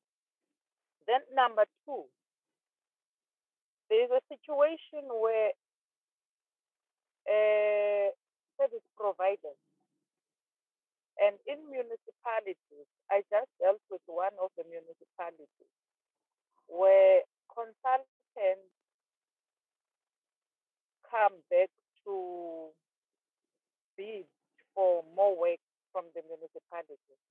Yet they are in the database of the municipality and they have been given work with that particular municipality and have not delivered. But when the bid committee sits with the, the new list of which consultants must come in, the very same consultant will score very high, giving them an opportunity to come back to the municipality and be given some more work. How are you dealing with that area? Because this is the same case that which, which SIU is dealing with now with the Beitbridge. A service provider that comes in does a shorty job, but continues to receive more work and being paid. And, nas- and National Treasury does nothing about such kind of uh, areas. And we want to check how do you then curb this kind of a situation? We cannot have a consultant in a municipality which fails to deliver, requires the municipality to pay even when it's not as it has not met its timeline, it has not met its deadline. Yet, when it comes to the new uh, bidding uh, season. They come in, they bid, they score high points because they've got all the equipment, they've got all the expertise, yet they are not doing what is supposed to be done. Thank you very much. Okay, Honorable Lees, thanks, Honorable Mente. Thank you, Mr. Chairman. Um, and thanks for the responses received. Uh, just want some clarity on the one, um, and that's the issue of of um, after the fact applications, and and then they're not not supported. Um, the the question then is, were there such applications? So in that category of not supported, which has been given to us, there, um, in there, were there such applications? And then what, what action is taken? Um, what happens? Do they just simply get not supported and, and then left to the Auditor General to deal with? Um, Mr. Chairman, the one question I missed just now, which I think is quite important, one of the key aspects of the establishment of the Office of the Chief Procurement Officer was the central supplier database that was going to be established. And, and as I understand it, it, it has been established. Um, I'm wondering whether it's, it's kept up to date um, and how effective it has been in being used um, nationally by, by all the government entities and SOEs.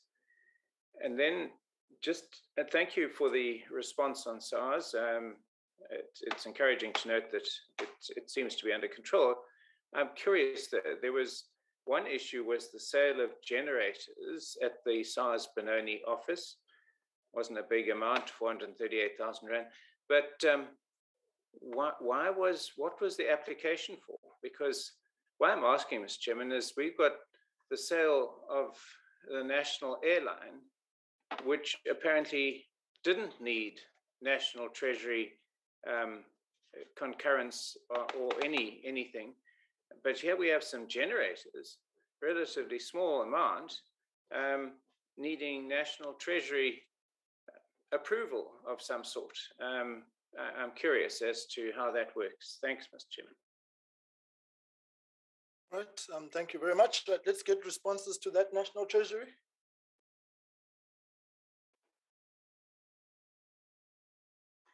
Thank you very much, Honorable Chair. Um, maybe let me just start with Honorable Lees, because um, the questions are fresh in my head.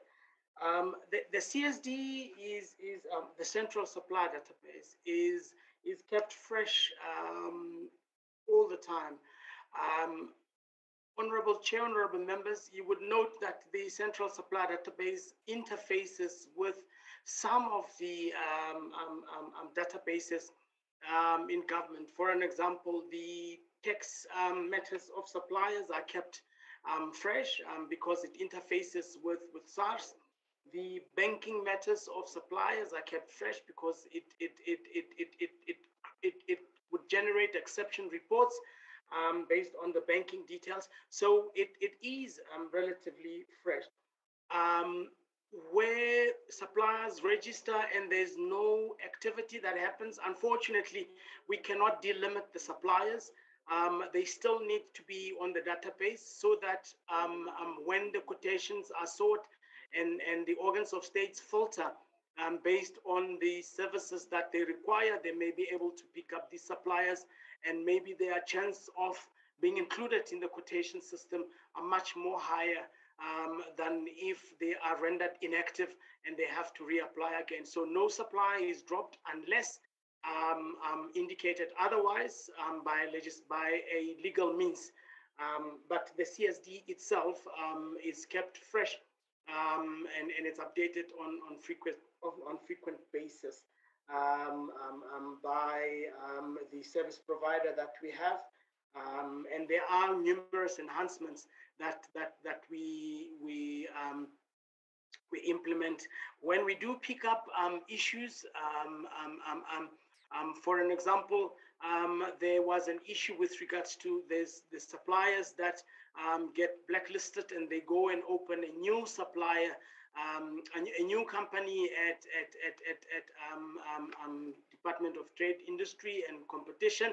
Um, the CSD assist government because the um, ID numbers of the, um, um, the, the, the, directors are blacklisted and therefore um, um, that information is, is has to be the latest information and has to be updated at all given times. And we do do that certainly. Um, the issue of supported and not supported.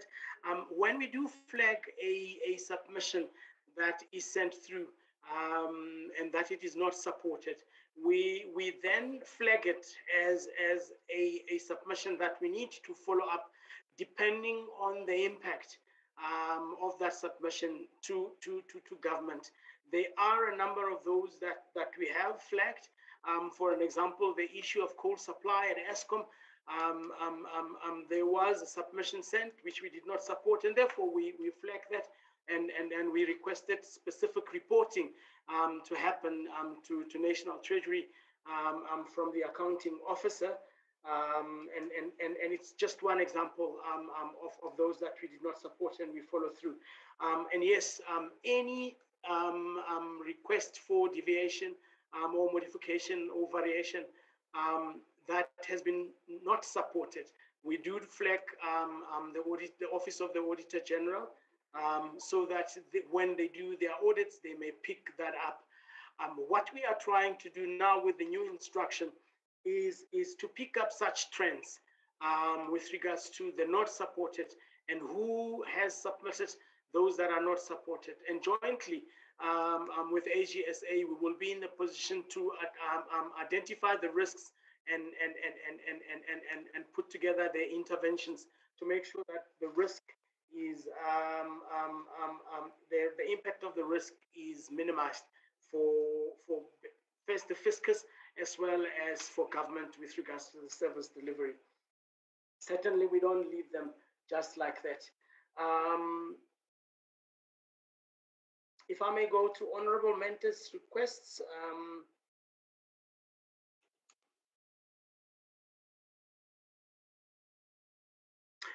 where I have just spoken to that one now, and when I responded to Honorable Lees's um, um, request, where we do not support, um, certainly, um, we, we, we, we flag um, um, the risky ones, and we definitely do follow them through. We do not let them go through. In some instances, we, we have asked what the action plan would be for the organ of states now that we have not supported, and they need to indicate to us um, with regards to that. Um, I may um, um, um concede that in, there has been one or two in, instances where organs of states have flatly um, did not respond to our requests, and, and as such, we, we have flagged that as, as a possible audit finding, and we will definitely follow it through and make sure that the accounting officer is accountable for having taken a decision that has not been supported um, and they should be accountable to the AGSA and to the executive authority for having implemented a decision that has not been supported. But at the end of the day, um, National Treasury's responsibility is to support or not support. The accounting officer is ultimately accountable for the implementation um, of a wrong decision. Um, and, and he must be taken to task for having done that. The, the land bank issue, um, um, there's two divisions that are involved with regards to this. That's, that's the public finance um, that manages finances um, of, of, organs of state. The, the Office of the Chief Procurement Officer is to ensure that procurement happens in a manner that is allowable by the legislative environment. Um, um, you will note that in the new instruction, we have been deliberate by indicating that the um, um, um, um, accounting office and the accounting officer must ensure that there is budget and they must ensure that they are accountable for having spent the money that is not being budgeted for. The current instruction note did, was not that explicit with regards to that, but the current one now is. how we will be able to manage this from our side is to take all the deviations and modifications that do not appear on the um, procurement plan that is issued to government and and and and they would the accounting officer would then have to explain how come that he has procured any goods and services that do not appear on the on the um, procurement plan, and how they have reprioritized their finances or their budgets to ensure that that procurement comes through. And we will then work um, hand in hand with um, um, public finance with regards to making sure that the, the information provided to us marries what they have um, at their disposal with regards to spending patterns of that organs of state. So we are looking at making sure that there is a marriage between public finance and procurement and how we will bring the two together with regards to the new instruction, um, holding the accounting officer accountable for having spent what they ha- what has not been um, budgeted for. The issue of consultants that bid for more work um, um, when there has been non-performance. National Treasury um, um, um invokes the um, provision of the of the PFMA with regards to restriction of suppliers.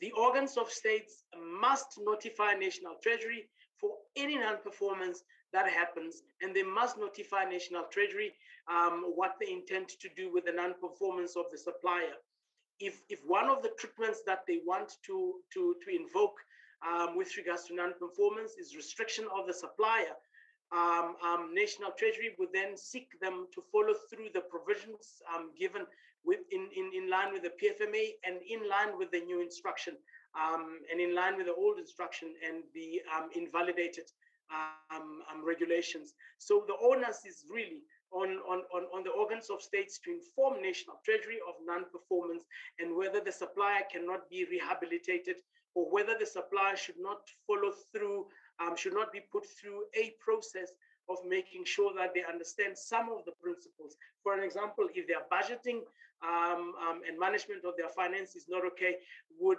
would an intervention by the small business um, um, um, Department of Small Business not be sufficient to assist them with regards to that?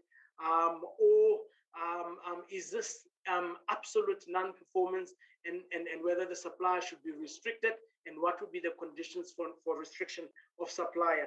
We do have mechanisms to do that, but National Treasury has to have that information submitted to them. Um, we have um, a, a, a, thousands and thousands of suppliers doing business with government at any given time.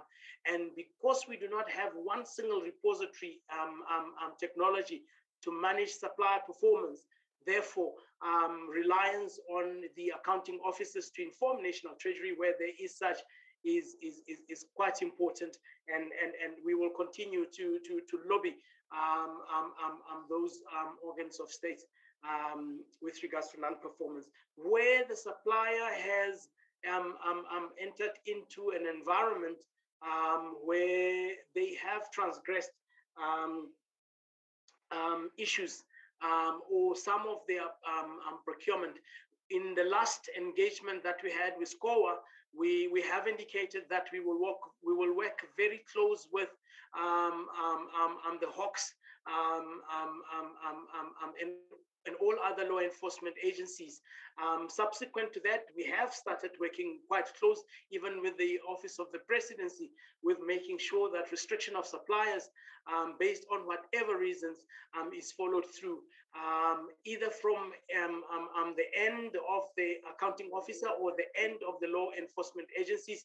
Such a list is provided to National Treasury, and National Treasury will then use that list to follow through issues um, that may have been picked up um, from the law enforcement agencies. But we rely heavily, like I've said, Honorable Mente, to the accounting officers to provide that information to us, and we will interrogate that information and work through with it. Honorable um, Konto has, has asked um, um, whether we are aware of the SEE um, within the um, um, Department of Labor, Employment and Labor, or Labor and Employment rather. Um, yes, we are aware um, that they exist. Um, do we support? in principle, yes, we do. However, there is no legislative framework at the moment that allows organs of state to set aside procurement for certain designated groups unless otherwise indicated by any primary law or subsequent um, um, um, um, um, um, instructions or regulations. What we are trying to do, or what we are going to do with the new public procurement bill, is to ensure that we are explicit with regards to support for women, support for youth, support for people with disabilities, and support for any other designated groups. Um, um, um, um specifically, when we look at what apartheid has done and how we wanted and envisaged procurement to be a lever with regards to transformation um, um, um, in, in the broader society. Um, therefore, um, for now, all we have to do is to make sure that the triple BEE provisions are carried through um, as, as, as, as legislated and that the new public procurement bill will address some of the issues that the current legislative environment cannot deal with. One of them is set aside, and setting aside um, procurement for certain designated groups um, is certainly one of the things that we are looking at um, um, um, um in the new dispensation. the, the issue of disclosure and doing business with, with government. The first disclosure that needs to happen is the annual disclosure where organs of where the officials and employees of government must disclose if they are doing business with government and therefore, we would take that information and we will ensure that such, such suppliers are flagged um, and such individuals are discouraged from doing business um, or taking part in activities or in leadership or directorship um, in, in, in, in, in companies that do business with government. And, and secondly, where there has been violation of, of such a disclosure um, by um, officials of government, we will certainly um, um, indicate and flag that. All organs of states are supposed to go into um, um, PERSAL and, and PERSOL and all other employee-related data, databases to ensure that they pick up any suppliers um, um, um, um, that has or that that has officials that work with um, that are um, employees of government. The central supplier database, Honorable Lees, if I may speak to that as well, on continuous basis also speaks to PERSAL and PERSOL and all other databases that we can link with to pick up any employees that are registered as directors in companies and making sure that they are flagged and such a supplier um, would not be able to, to, to be picked up and do business with government until such a directorship has been sorted out and such an employee has been deregistered um, as a director within um, the, the, the, CSD um, um, space. Um, however, we do have limitations. any organs of states that um, whose databases are not, or employee um, databases are not um, linked to CSD, we may not be able to, to pick them up. However, such a disclosure is required by suppliers, and one of our standard bidding documents requires of um, um, um, potential bidders to disclose if any of the directors are employees of state, and such a disclosure is taken seriously, and we deal with when we adjudicate the tenders that we receive. Um, I would I would allow um, um, Dr. Manyathi to speak to the CCMA matters um, um, that are asked by um, Honorable Mukonto, and and also maybe to touch on the SARS generator matter, if you would allow, Honorable Chair. No, that's fine.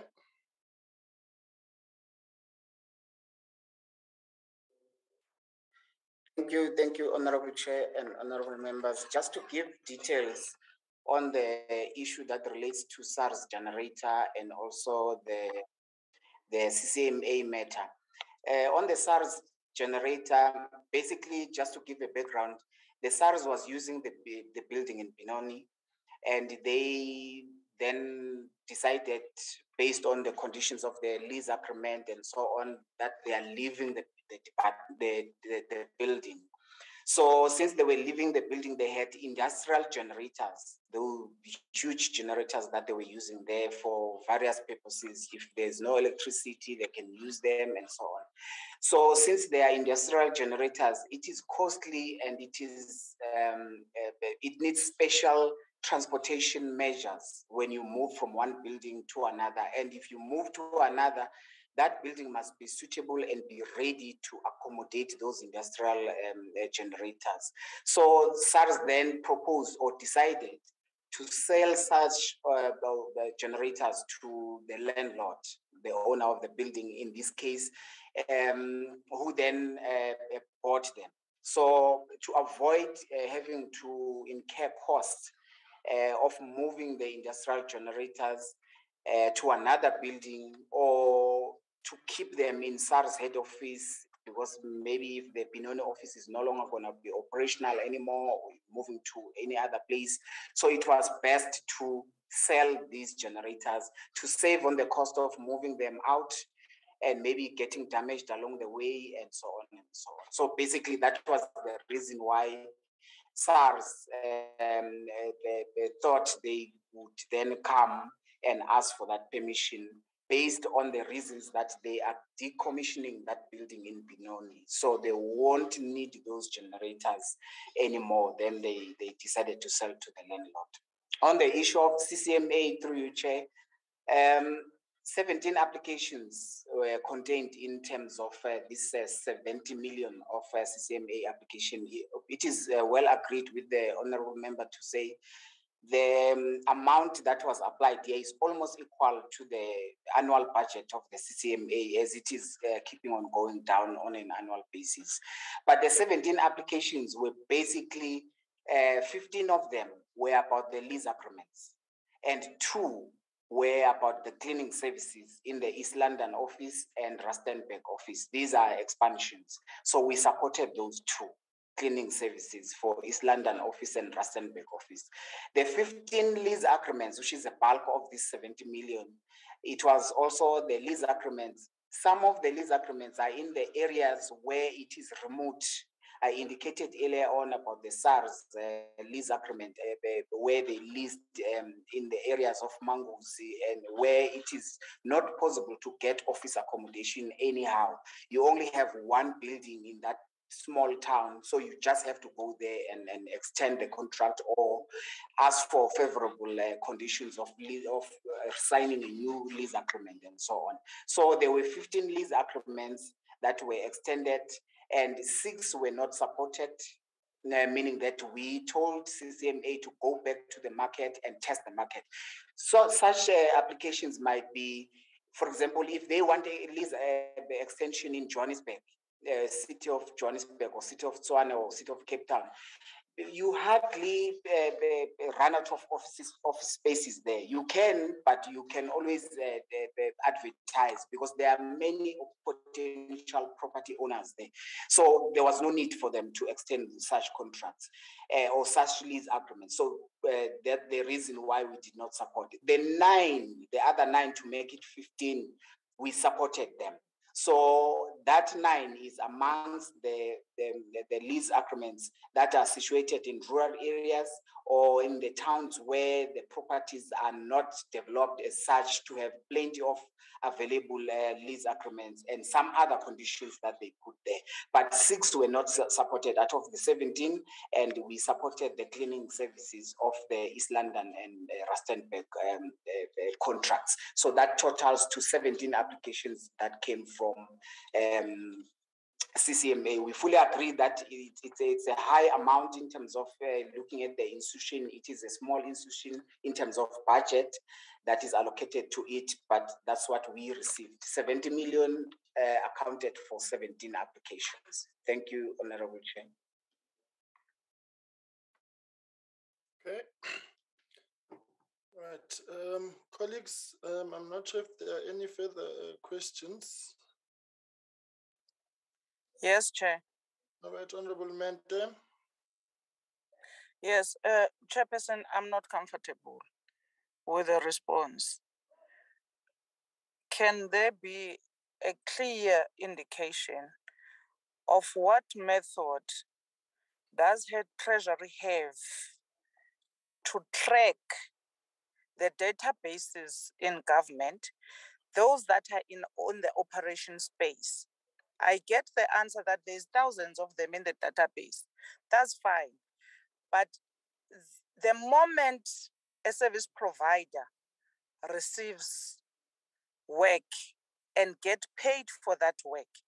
There ought to be a tool of monitoring, not by the municipality or by the department only, a tool that also informs the national treasury in a mandatory form, whether quarterly or monthly, out of the service providers you have, what are their statuses in terms of service delivery and payments thereof? Because we get service providers who do not deliver, and then we get uh, uh, uh, prices inflated, or we get these service providers demanding more money to be paid because there was um, under quotation of whatever and the prices have changed and all of those things. But we don't get a comfort from national treasury that there is a proper tracker. Because all of these procurement areas and all of these services that are procured even when they are not supported and when they are just flagged and left for Auditor General to look into them, then we are running a risk of everyone else not doing anything. And we cannot rely on officials, accounting uh, officials and accounting authorities in other cases to report this out of their own willingness. In the spaces of municipalities, we know the politics that are at play. We know the kind of corruption that is there. So if ever majority says no, we're not reporting this in the in the in the in the municipal sitting. If a council sitting does not adopt a report, it therefore means that National Treasury does not know what's happening. There should be a tracker of the National Treasury, which is mandatory, that all municipalities, you have 10 service providers. You have requested 1 billion rand from National Treasury. What's the status quo? These are the time frames. In three years, the project is supposed to be finished. But on the fourth year, National Treasury is not aware of what's happening. Yet there is a new request. National Treasury does not support, but when they continue to pay that same service provider, the National Treasury just flags. I'm not comfortable. I need a clear explanation. And if there is no proper tractor in place, when is it going to be in place? Thank you, Chair. Okay. Well, let's get a response to that, and then there'll be just one final question on my side. National Treasury. Um, thank you, Honorable Chair. Um, I think in one of the discussions that we had um, with with the committee, with the subcommittee, we have indicated that um, one of the enabling environment is technology, and that government at the moment has various um, um, procurement systems that they are using, um, electronic procurement systems that they are using. And one of the um, objectives of, of, of putting together IFMS was and still is to ensure that um, all government procurement happens under one umbrella and all other functions that that are of, of generic nature or, or or that cuts across all organs of state um, within within ambit of IFMS. And and this would have assisted us um, quite extensively with making sure that um, um, um all the procurement transactions are tracked. Um, we can we can draw the exception reports and we, we can customize the reports that we require in order for us to do monitoring um, and ensuring compliance um, on a continuous basis. But in the absence of such an integrated system, we rely heavily on accounting offices to ensure that their, their existing governance structures do work. Within organs of states, we've got an internal audit function, and the internal audit function's responsibility is to ensure and manage the risks um, um, that may result in, in an audit environment. They audit the financials, they audit procurement, they audit all aspects um, and, and they've got the risk register, which indicates which, um, um, um what, what are the risks um, um, and what are the risks pertaining to procurement and ensure that there are control measures in place. we cannot emphasize the importance of, of an audit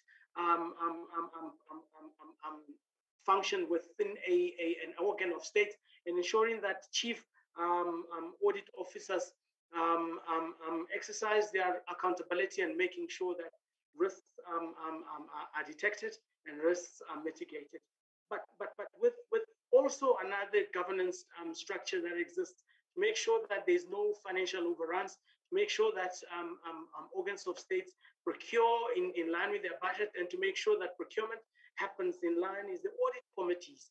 Um, um, what National Treasury seeks to emphasize is that the audit committees are, are, are meeting on a frequent basis and they're looking at their financials their, their primary responsibility is to ensure that there is no fiscal overrun um, and that in instances where there has been an excessive over expenditure um, um, um is dealt with before it even becomes an apparent issue um, at, the national space um, where national treasury detects it. We are unable, like I've said, with, with, with, with, the lack of te technology that we, are, we, we have um, in government at the moment to detect these things. But certainly at the cold face, the internal audit, the audit committees um, are able to do that. There is um, um bid adjudication committees um, and the council that exercise an oversight responsibility and approves um, the procurement transactions. They should be asking the pertinent questions with regards to the, the bid specification, bid SBD documents, um, um, um, supplier bid documents, um, where we have asked um, pertinent questions. Um, and also, they need to have a check sheet and controls with regards to where the account, the CFO is accountable to ensure that no procurement or, or, publication of tenders for um, um, um, goods and services takes place where there is no budget. Um, the CFOs know that, and they are not supposed to sanction any publication of tenders where there is no budget allocated or where they have not reprioritized their budgets to ensure that that procurement activity is catered for within um, um, the environment that they have. That responsibility rests with the CFO within a, a, a and the organ of state and making sure that the accounting officer also would not sign for any um, award of tenders where there has not been any budget allocated or where the supplier has not been performing. Um, um, um, there are mechanisms in place to make sure that national treasury does not have to get involved in the operations and and and and and, and, and the detection um, even in the absence of the detection through a technology those gatekeepers um, and those uh, mechanisms are put in place with regards to the current legislative environment to make sure that um, um, government um, carries procurement in a sound, organized, and, and, and, and coordinated manner. And I would like us to emphasize the importance of the internal audit, um, the emphasis of internal, um, um, the audit committees in, in, in combating corruption and misuse of finances within the organs of state. And certainly National Treasury cannot distance themselves the public finance um, division within National Treasury um, um, um, have a scrutiny of the finances, and they definitely do um, take up um, instances where there has been an over expenditure and without reprioritization in, in the organ of states. either at, at, at, at, at that activity level or at a cluster level where you're looking at clusters such as your economic cluster or your security cluster or your health cluster um, where we're looking at the overrun of expenditure in that environment. Um, what um, we are doing from our side is we will intensify um, our um, um, monitoring and governance in terms of the procurement plans that we, we require on, on, on at the beginning of the year and making sure that all the tenders that are published on e-tender, we will make e-tender publication um, um, um, um, marry the um, procurement plans so that any spikes with regards to a tender that is published where it is, has not been part of the published um, procurement plan, we will then um, um require explanation from the accounting officers and, and remedy that situation um, accordingly and, and flag the public um, finance division within National Treasury of an imminent expenditure where reprioritization or reallocation has not taken place um, um, um, accordingly. So we do have um, those that, that, that we have in place, and, and we would like those to, to be fully functional to make sure that government works. Thanks.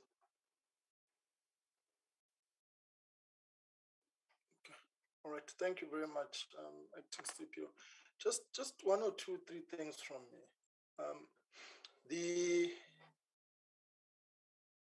the committee has repeatedly expressed uh, its fundamental concern about the normalization of expansions and devi- deviations ex- as, ex- as opposed to them being an exception uh, in the procurement processes of government.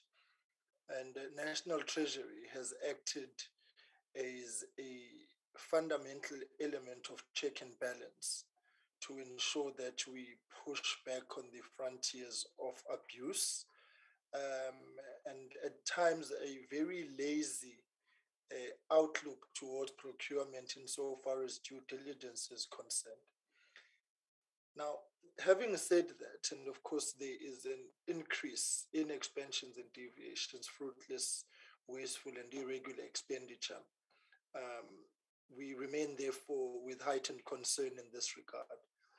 Um, why do I get the senses, though, now that National Treasury is sort of shaking off this responsibility and sending it back to the problematic operational spaces, which is the various departments and entities, leaving them to their own devices with what I can only call very little safeguards um, and checks and balances from what I've heard and what I've been reading. Because I don't see why there is now a, a need to fix what is not broken. The checks and balances that you had in place, so at the very least at a uh, conceptual modus operandi level, was fine. What you had to improve upon is your own agility and turnaround time uh, to respond to departments and entities on issues that they had presented. It's the very same people who are not giving you adequate information, whom you have turned down at times, whom are now going to be left to their own devices to do these things. So I'm really just uh, worried uh, that uh, National Treasury is uh, engaged in what I can probably characterize as a regressive uh, policy step uh, in this regard. That's the first part. The, the second part, the extent of the consultation that you did, how far did that go? Um, so that uh, we can, and who did you consult uh, on these uh, very pertinent changes um, that you have you, you have made? Because I think I go back to where I started. The fundamental issue is you are dealing with increased uh, expansions and deviations.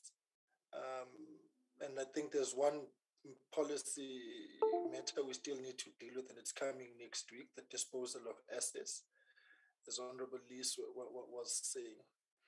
So I think we, we, we, we, we sort of are not on the same page here. Um, I'm, I'm not sure what really would have motivated to the extent to which that such a major shift takes place. Uh, whereas we know that this is a problematic uh, element in any case in procurement, and that we were relying on national treasury to be a safeguard, uh, notwithstanding the limitations which may have existed insofar as agility, turnaround time, and so on. But as a fundamental principle, um, and I think what I really would want National Treasury to submit to us as well is the SWOT analysis of this change. The inherent risks that are now involved in it, the threats in particular uh, to this. And um, yeah, so I just, I would I really want National Treasury to, to take us along as to why. I think that is the critical question. Um, I really uh, see it as taking us some some few steps backwards. National Treasury.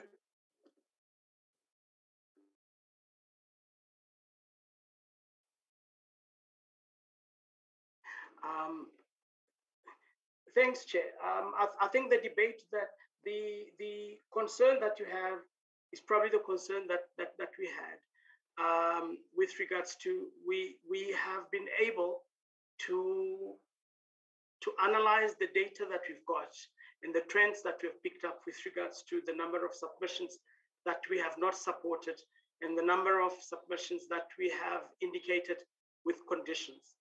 And, and, and the, the but the primary um, um, um, um, um, um, um, question that, that still remained was the, the PFMA requires that the accounting officers be empowered to make the decisions um, um, um, um, that National Treasury is making or is advising them on with regards to the support or the non-support um, um, with regards to their procurement. and, and I think one of the things that we need to intensify and to make sure that happens is that when an accounting officer has made a correct decision, they must be rewarded. And where the accounting officer has made an incorrect and and and and and and, and, a horrific decision with regards to the application of the deviation and modification. Um, um, um, um, action needs appropriate action needs to be taken to make sure that that that such a behavior does not um, become perpetual within government. What we also wanted to do was to enable operations to take place um, at the pace that they want to take place. Um, um, one of the concerns that we had was if we have um, a continuous um, um, um, comments that, that indicates to us that the, the, the, the speedy decisions are required with regards to deviations and modification at a pace that would satisfy the accounting officers and especially the, the, the, the accounting officers that are that, are, that have to take up market opportunities, your Transnet, um, your SAAs, your Eskoms, that have to take up market opportunities where they have to bid for goods and services um, um, um from, from, from, from the market. Um, Transnet has, has to, to, to compete with, with, with, with road transportation um, and therefore their readiness to take up the markets without having to come to National Treasury to ask for a deviation process is required. However, it is required of the CEO of Transnet to be in a position to apply a mind and to make sure that all the balances and checks are taken um, and they are accountable for the decision that they have taken. And if such um, um, procurement is irregular, to be accountable for, for, for that irregular expenditure that takes place. Um, National Treasury, on the other side, needs to ensure that they intensify the monitoring um, um, um, of, of, of, the procurement that happens, especially in the high risk environments, um, such as those that I have alluded to, um, and making sure that that periodic reporting is, is, is, um, is, is analyzed and, and, and that organs of state of states would be requested to supply supporting documentation for those decisions that they've taken. The National Treasury expresses its opinion on, on, on whether such a, a, a deviation or modification was warranted or is justified, um, and jointly um, agree on, on a mechanism to, to, to, to, to, to remedy the situation if already implemented and, and has led into irregularity. Um, um, um, um government has to work, and National Treasury has limited resources um, in most of these deviations that, that, that come through. And, and we would like to ensure that um um, um, um, um, operations happen and that government is not rendered inoperative by, by National Treasury and that accountability rests with the accounting officers. honorable Chair, honorable members, should the trends indicate otherwise moving forward, National Treasury would not hesitate to, to issue a new instruction note to remedy the situation.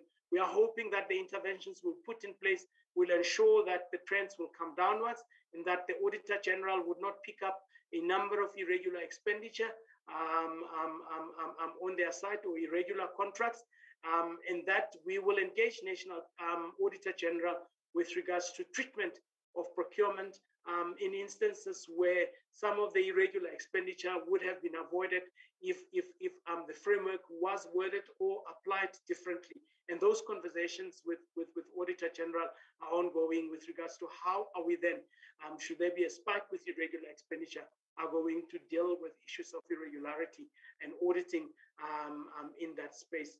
Um, um, that's my submission to you, Chair, um, to you, honorable members, Um, pertaining to the questions um, the honorable Chair um, posed to OCPO. Thank you.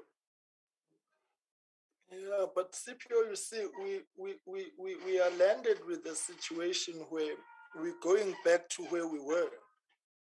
You see, this instruct the instruction note three, amongst others, was a response to what you are saying now, to say in the event that there's an increase and so on. I, I mean, I just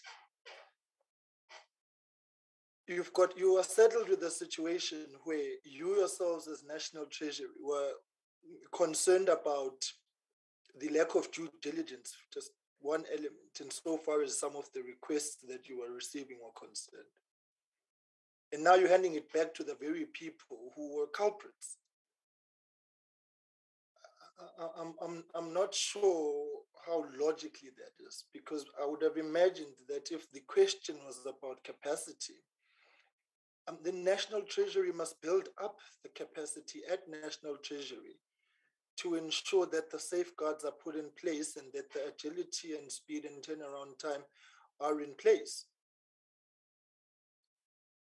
So we, we, are, we, are, we are experimenting now with something that we already know. We know what happened when um, this eventuality arose. Eskom, amongst others, um, you know. So I, I, I, I, I, I, I just, um, um, I must say that from where I'm seated, I, I just think that uh, National Treasury is taking the easy route. Because the implications of this now, amongst others, unless I'm wrong, is that, uh, you know, change of scope is in contracts, is a heightened reality in this regard. Um, and that the check and balance of ensuring that your APPs across the government spectrum and SOE spectrum um, are really not going to be as uh, tight as we would have would have uh, because this opens the doorway for changes. I don't get how if I'm uh, I'm saying I I, I want to expand a contract and National Treasury says, no, don't expand that contract. Or I want to deviate from a particular process and say that there's a sole uh, supplier uh, amongst others. And National Treasury has said on occasion, no, you have not tested the market and so on and so forth. Who does the check and balance that National Treasury was doing now?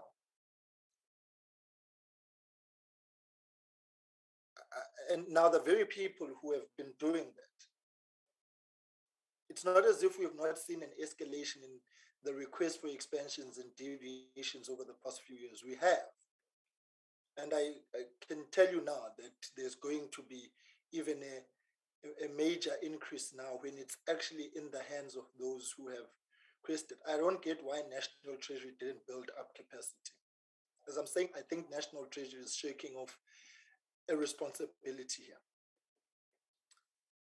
I, the, the whole thing sits very uncomfortable. It makes oversight and accountability even more difficult and complex.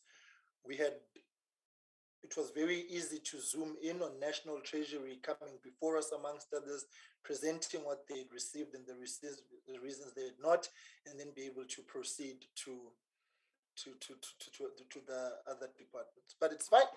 I think we will assess this moving forward, but I think National Treasury must consider very, very strongly uh, that um, uh, we, we've been down this road before. And the preventative measures or the, you know, the restrictive measures that were in place uh, have, have, have now literally just been thrown out the window. It's a very slippery slope that National Treasury is setting us on um, if National Treasury doesn't have the capacity, imagine the extent of the lack of capacity in the spaces where this is being taken.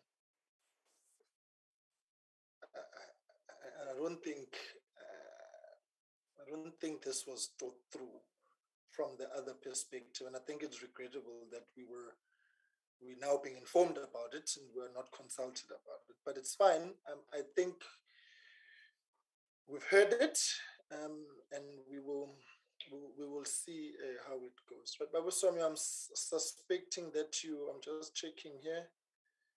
Uh, Babuswami, I think you. Yes, yes, chair, yes, chair. I think uh, oh. uh, you have you have you have uh, just dealt with what I wanted to deal with. Was my initial question was not uh, answered satisfactorily because it uh, bowed uh, towards the fact that the institutionalization of chaos, uh, which uh, National Treasury is getting into, and as a result, uh, the outcome is not going to be different. It's going to be worse from what we see uh, in the uh, appeals from them in terms of certification of the extensions, this and that, in terms of their own operations uh, if indeed they do this consciously, uh, they would have done it uh, even better uh, without denying the fact that the accounting officers uh, must be in the forefront uh, to account for their own action. The fact is that now, as we speak, they're unable to, and further down, even Treasury attests to the difficulty uh, of making them uh, to account for or they are ill-conceived decisions uh, in as far as matters of procurement are concerned. That is that is the case in point. And nevertheless, they have issued the notice, and from us, I, I think, Chair, um, we, we, really need to put up uh, a sharp eye on those matters which we think are valid uh, for the outlook uh, of accountability and oversight. And, and uh, Treasury would be responsible for whatever that goes all in as far as such matters are concerned. There will be no way to escape it because they have opened the doors wide uh, for such uh, actions uh, to negate the proper observation of legal parameters uh, to hold uh, procurement quite appropriately. Thank you, Chair. Yeah, that's that's fundamentally the point, Babuswami, because I mean, if the the acting CPO speaks about if things increase and so on, I mean, the KwaZulu Natal SCOPA, for example, is dealing with an accumulation of 48 billion rands of irregular expenditure in that province, and they want uh, the departments have applied for condonation and you're dealing with about um, uh, 13 billion rand. So, yeah, I think maybe let's just get a, a, a, a response or reaction from National Treasury on this.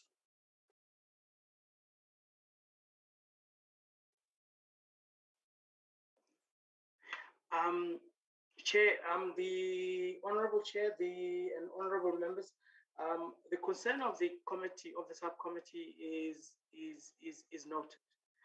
I, think what what had happened when Instruction Note 3, 16, 17 um, was put in place, um, the National Treasury's intent at that time was to make sure that there is a central point where balances and checks are done with regards to the um, um, deviations and modification.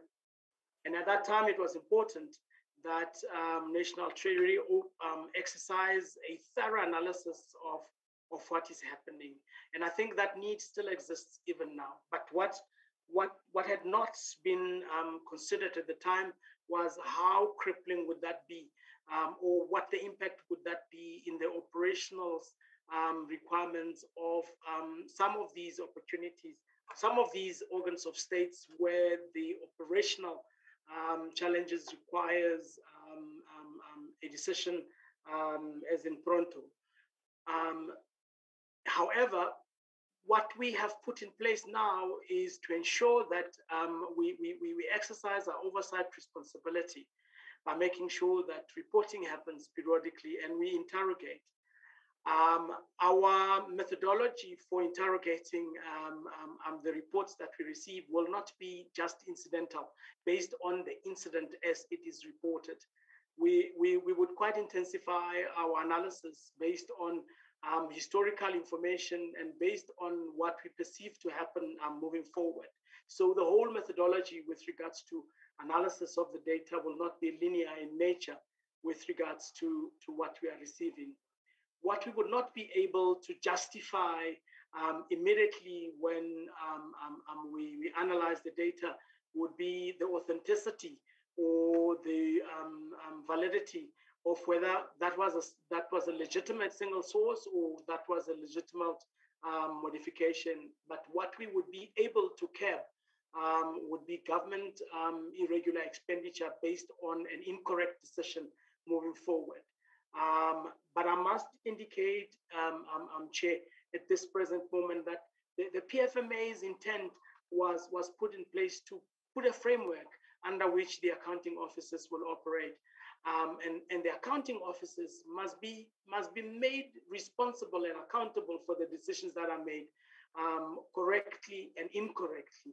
Um, and, and what we have been shying away from um, for, for, for, for years now is, is, is, is, making sure that the accounting officers um, are, are, held accountable um, by executive and, and, and by all the other law enforcement agencies in instances where incorrect decisions were taken or um, um, um, um, um, facetious decisions are also taken.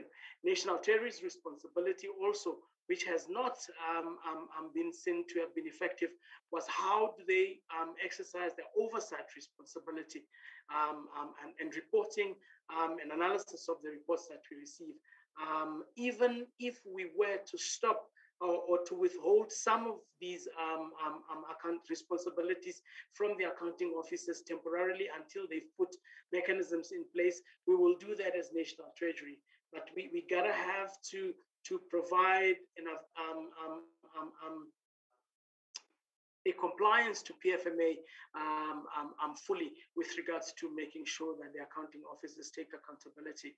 Um, and monitoring of these trends um, has to happen from National Treasury. And we have already started with regards to putting together the methodology we would use um, and finalize it and, and, and, get it signed off by executive within National Treasury on how this monitoring would happen but the, the reporting requirements have already been issued with an instruction note, and therefore we would um, um, um, analyze them as we receive them.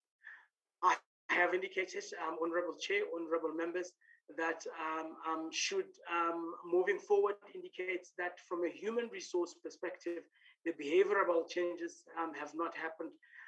even when we have instituted investigations and, and put balances and checks in place, certainly National Treasury um, is obligated to review the decision that they have taken and make sure that a, a better corrective action is put in place, um, which will make sure that government works and it works in the manner that these oversight um, um subcommittees require of National Treasury moving forward. Um, um, that's that's what I can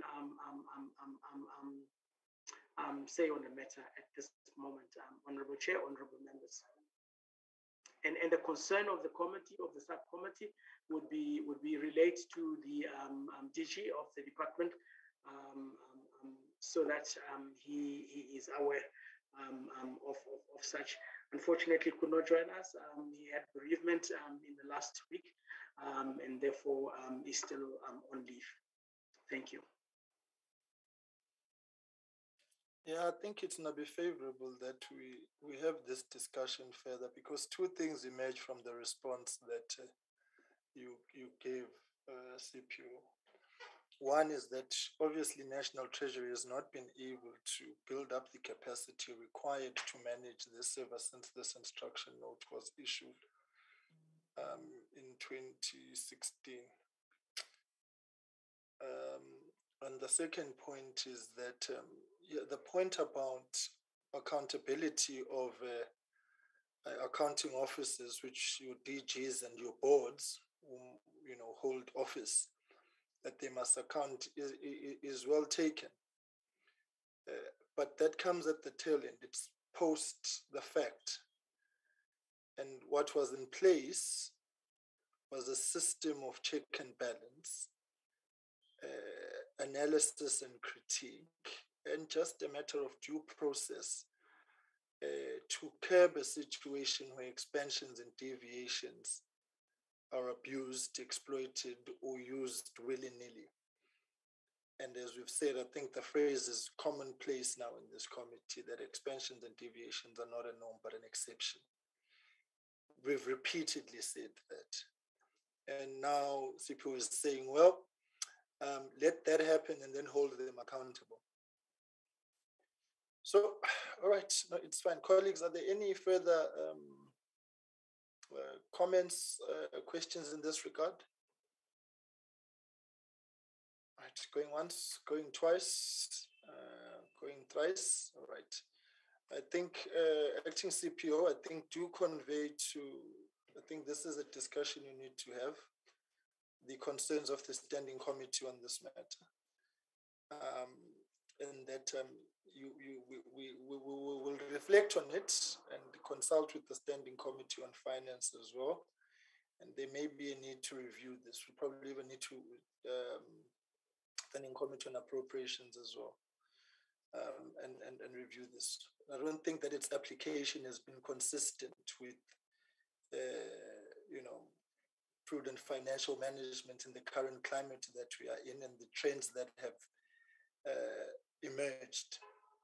Um, so we will, we will, we will, we will, we will probably come back to you on this. Um, no, no, not probably. We will come back to you on this um, so that uh, we give a final position on it and allow members to look at it afresh, and our research team will um, interrogate it further, um, having heard the presentation that you have made um, this morning. And uh, please do convey finally our condolences to the Director General on behalf of the committee to him um, and his family. So thank you very much, um, Acting CPO, to you and your team.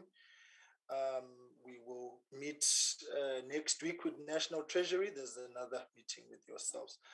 On that note, uh, colleagues, let me say uh, tomorrow, uh, Honorable Lees, uh, we are meeting with the Auditor General to get a, a report on the Road Accident Fund and on the on SAA.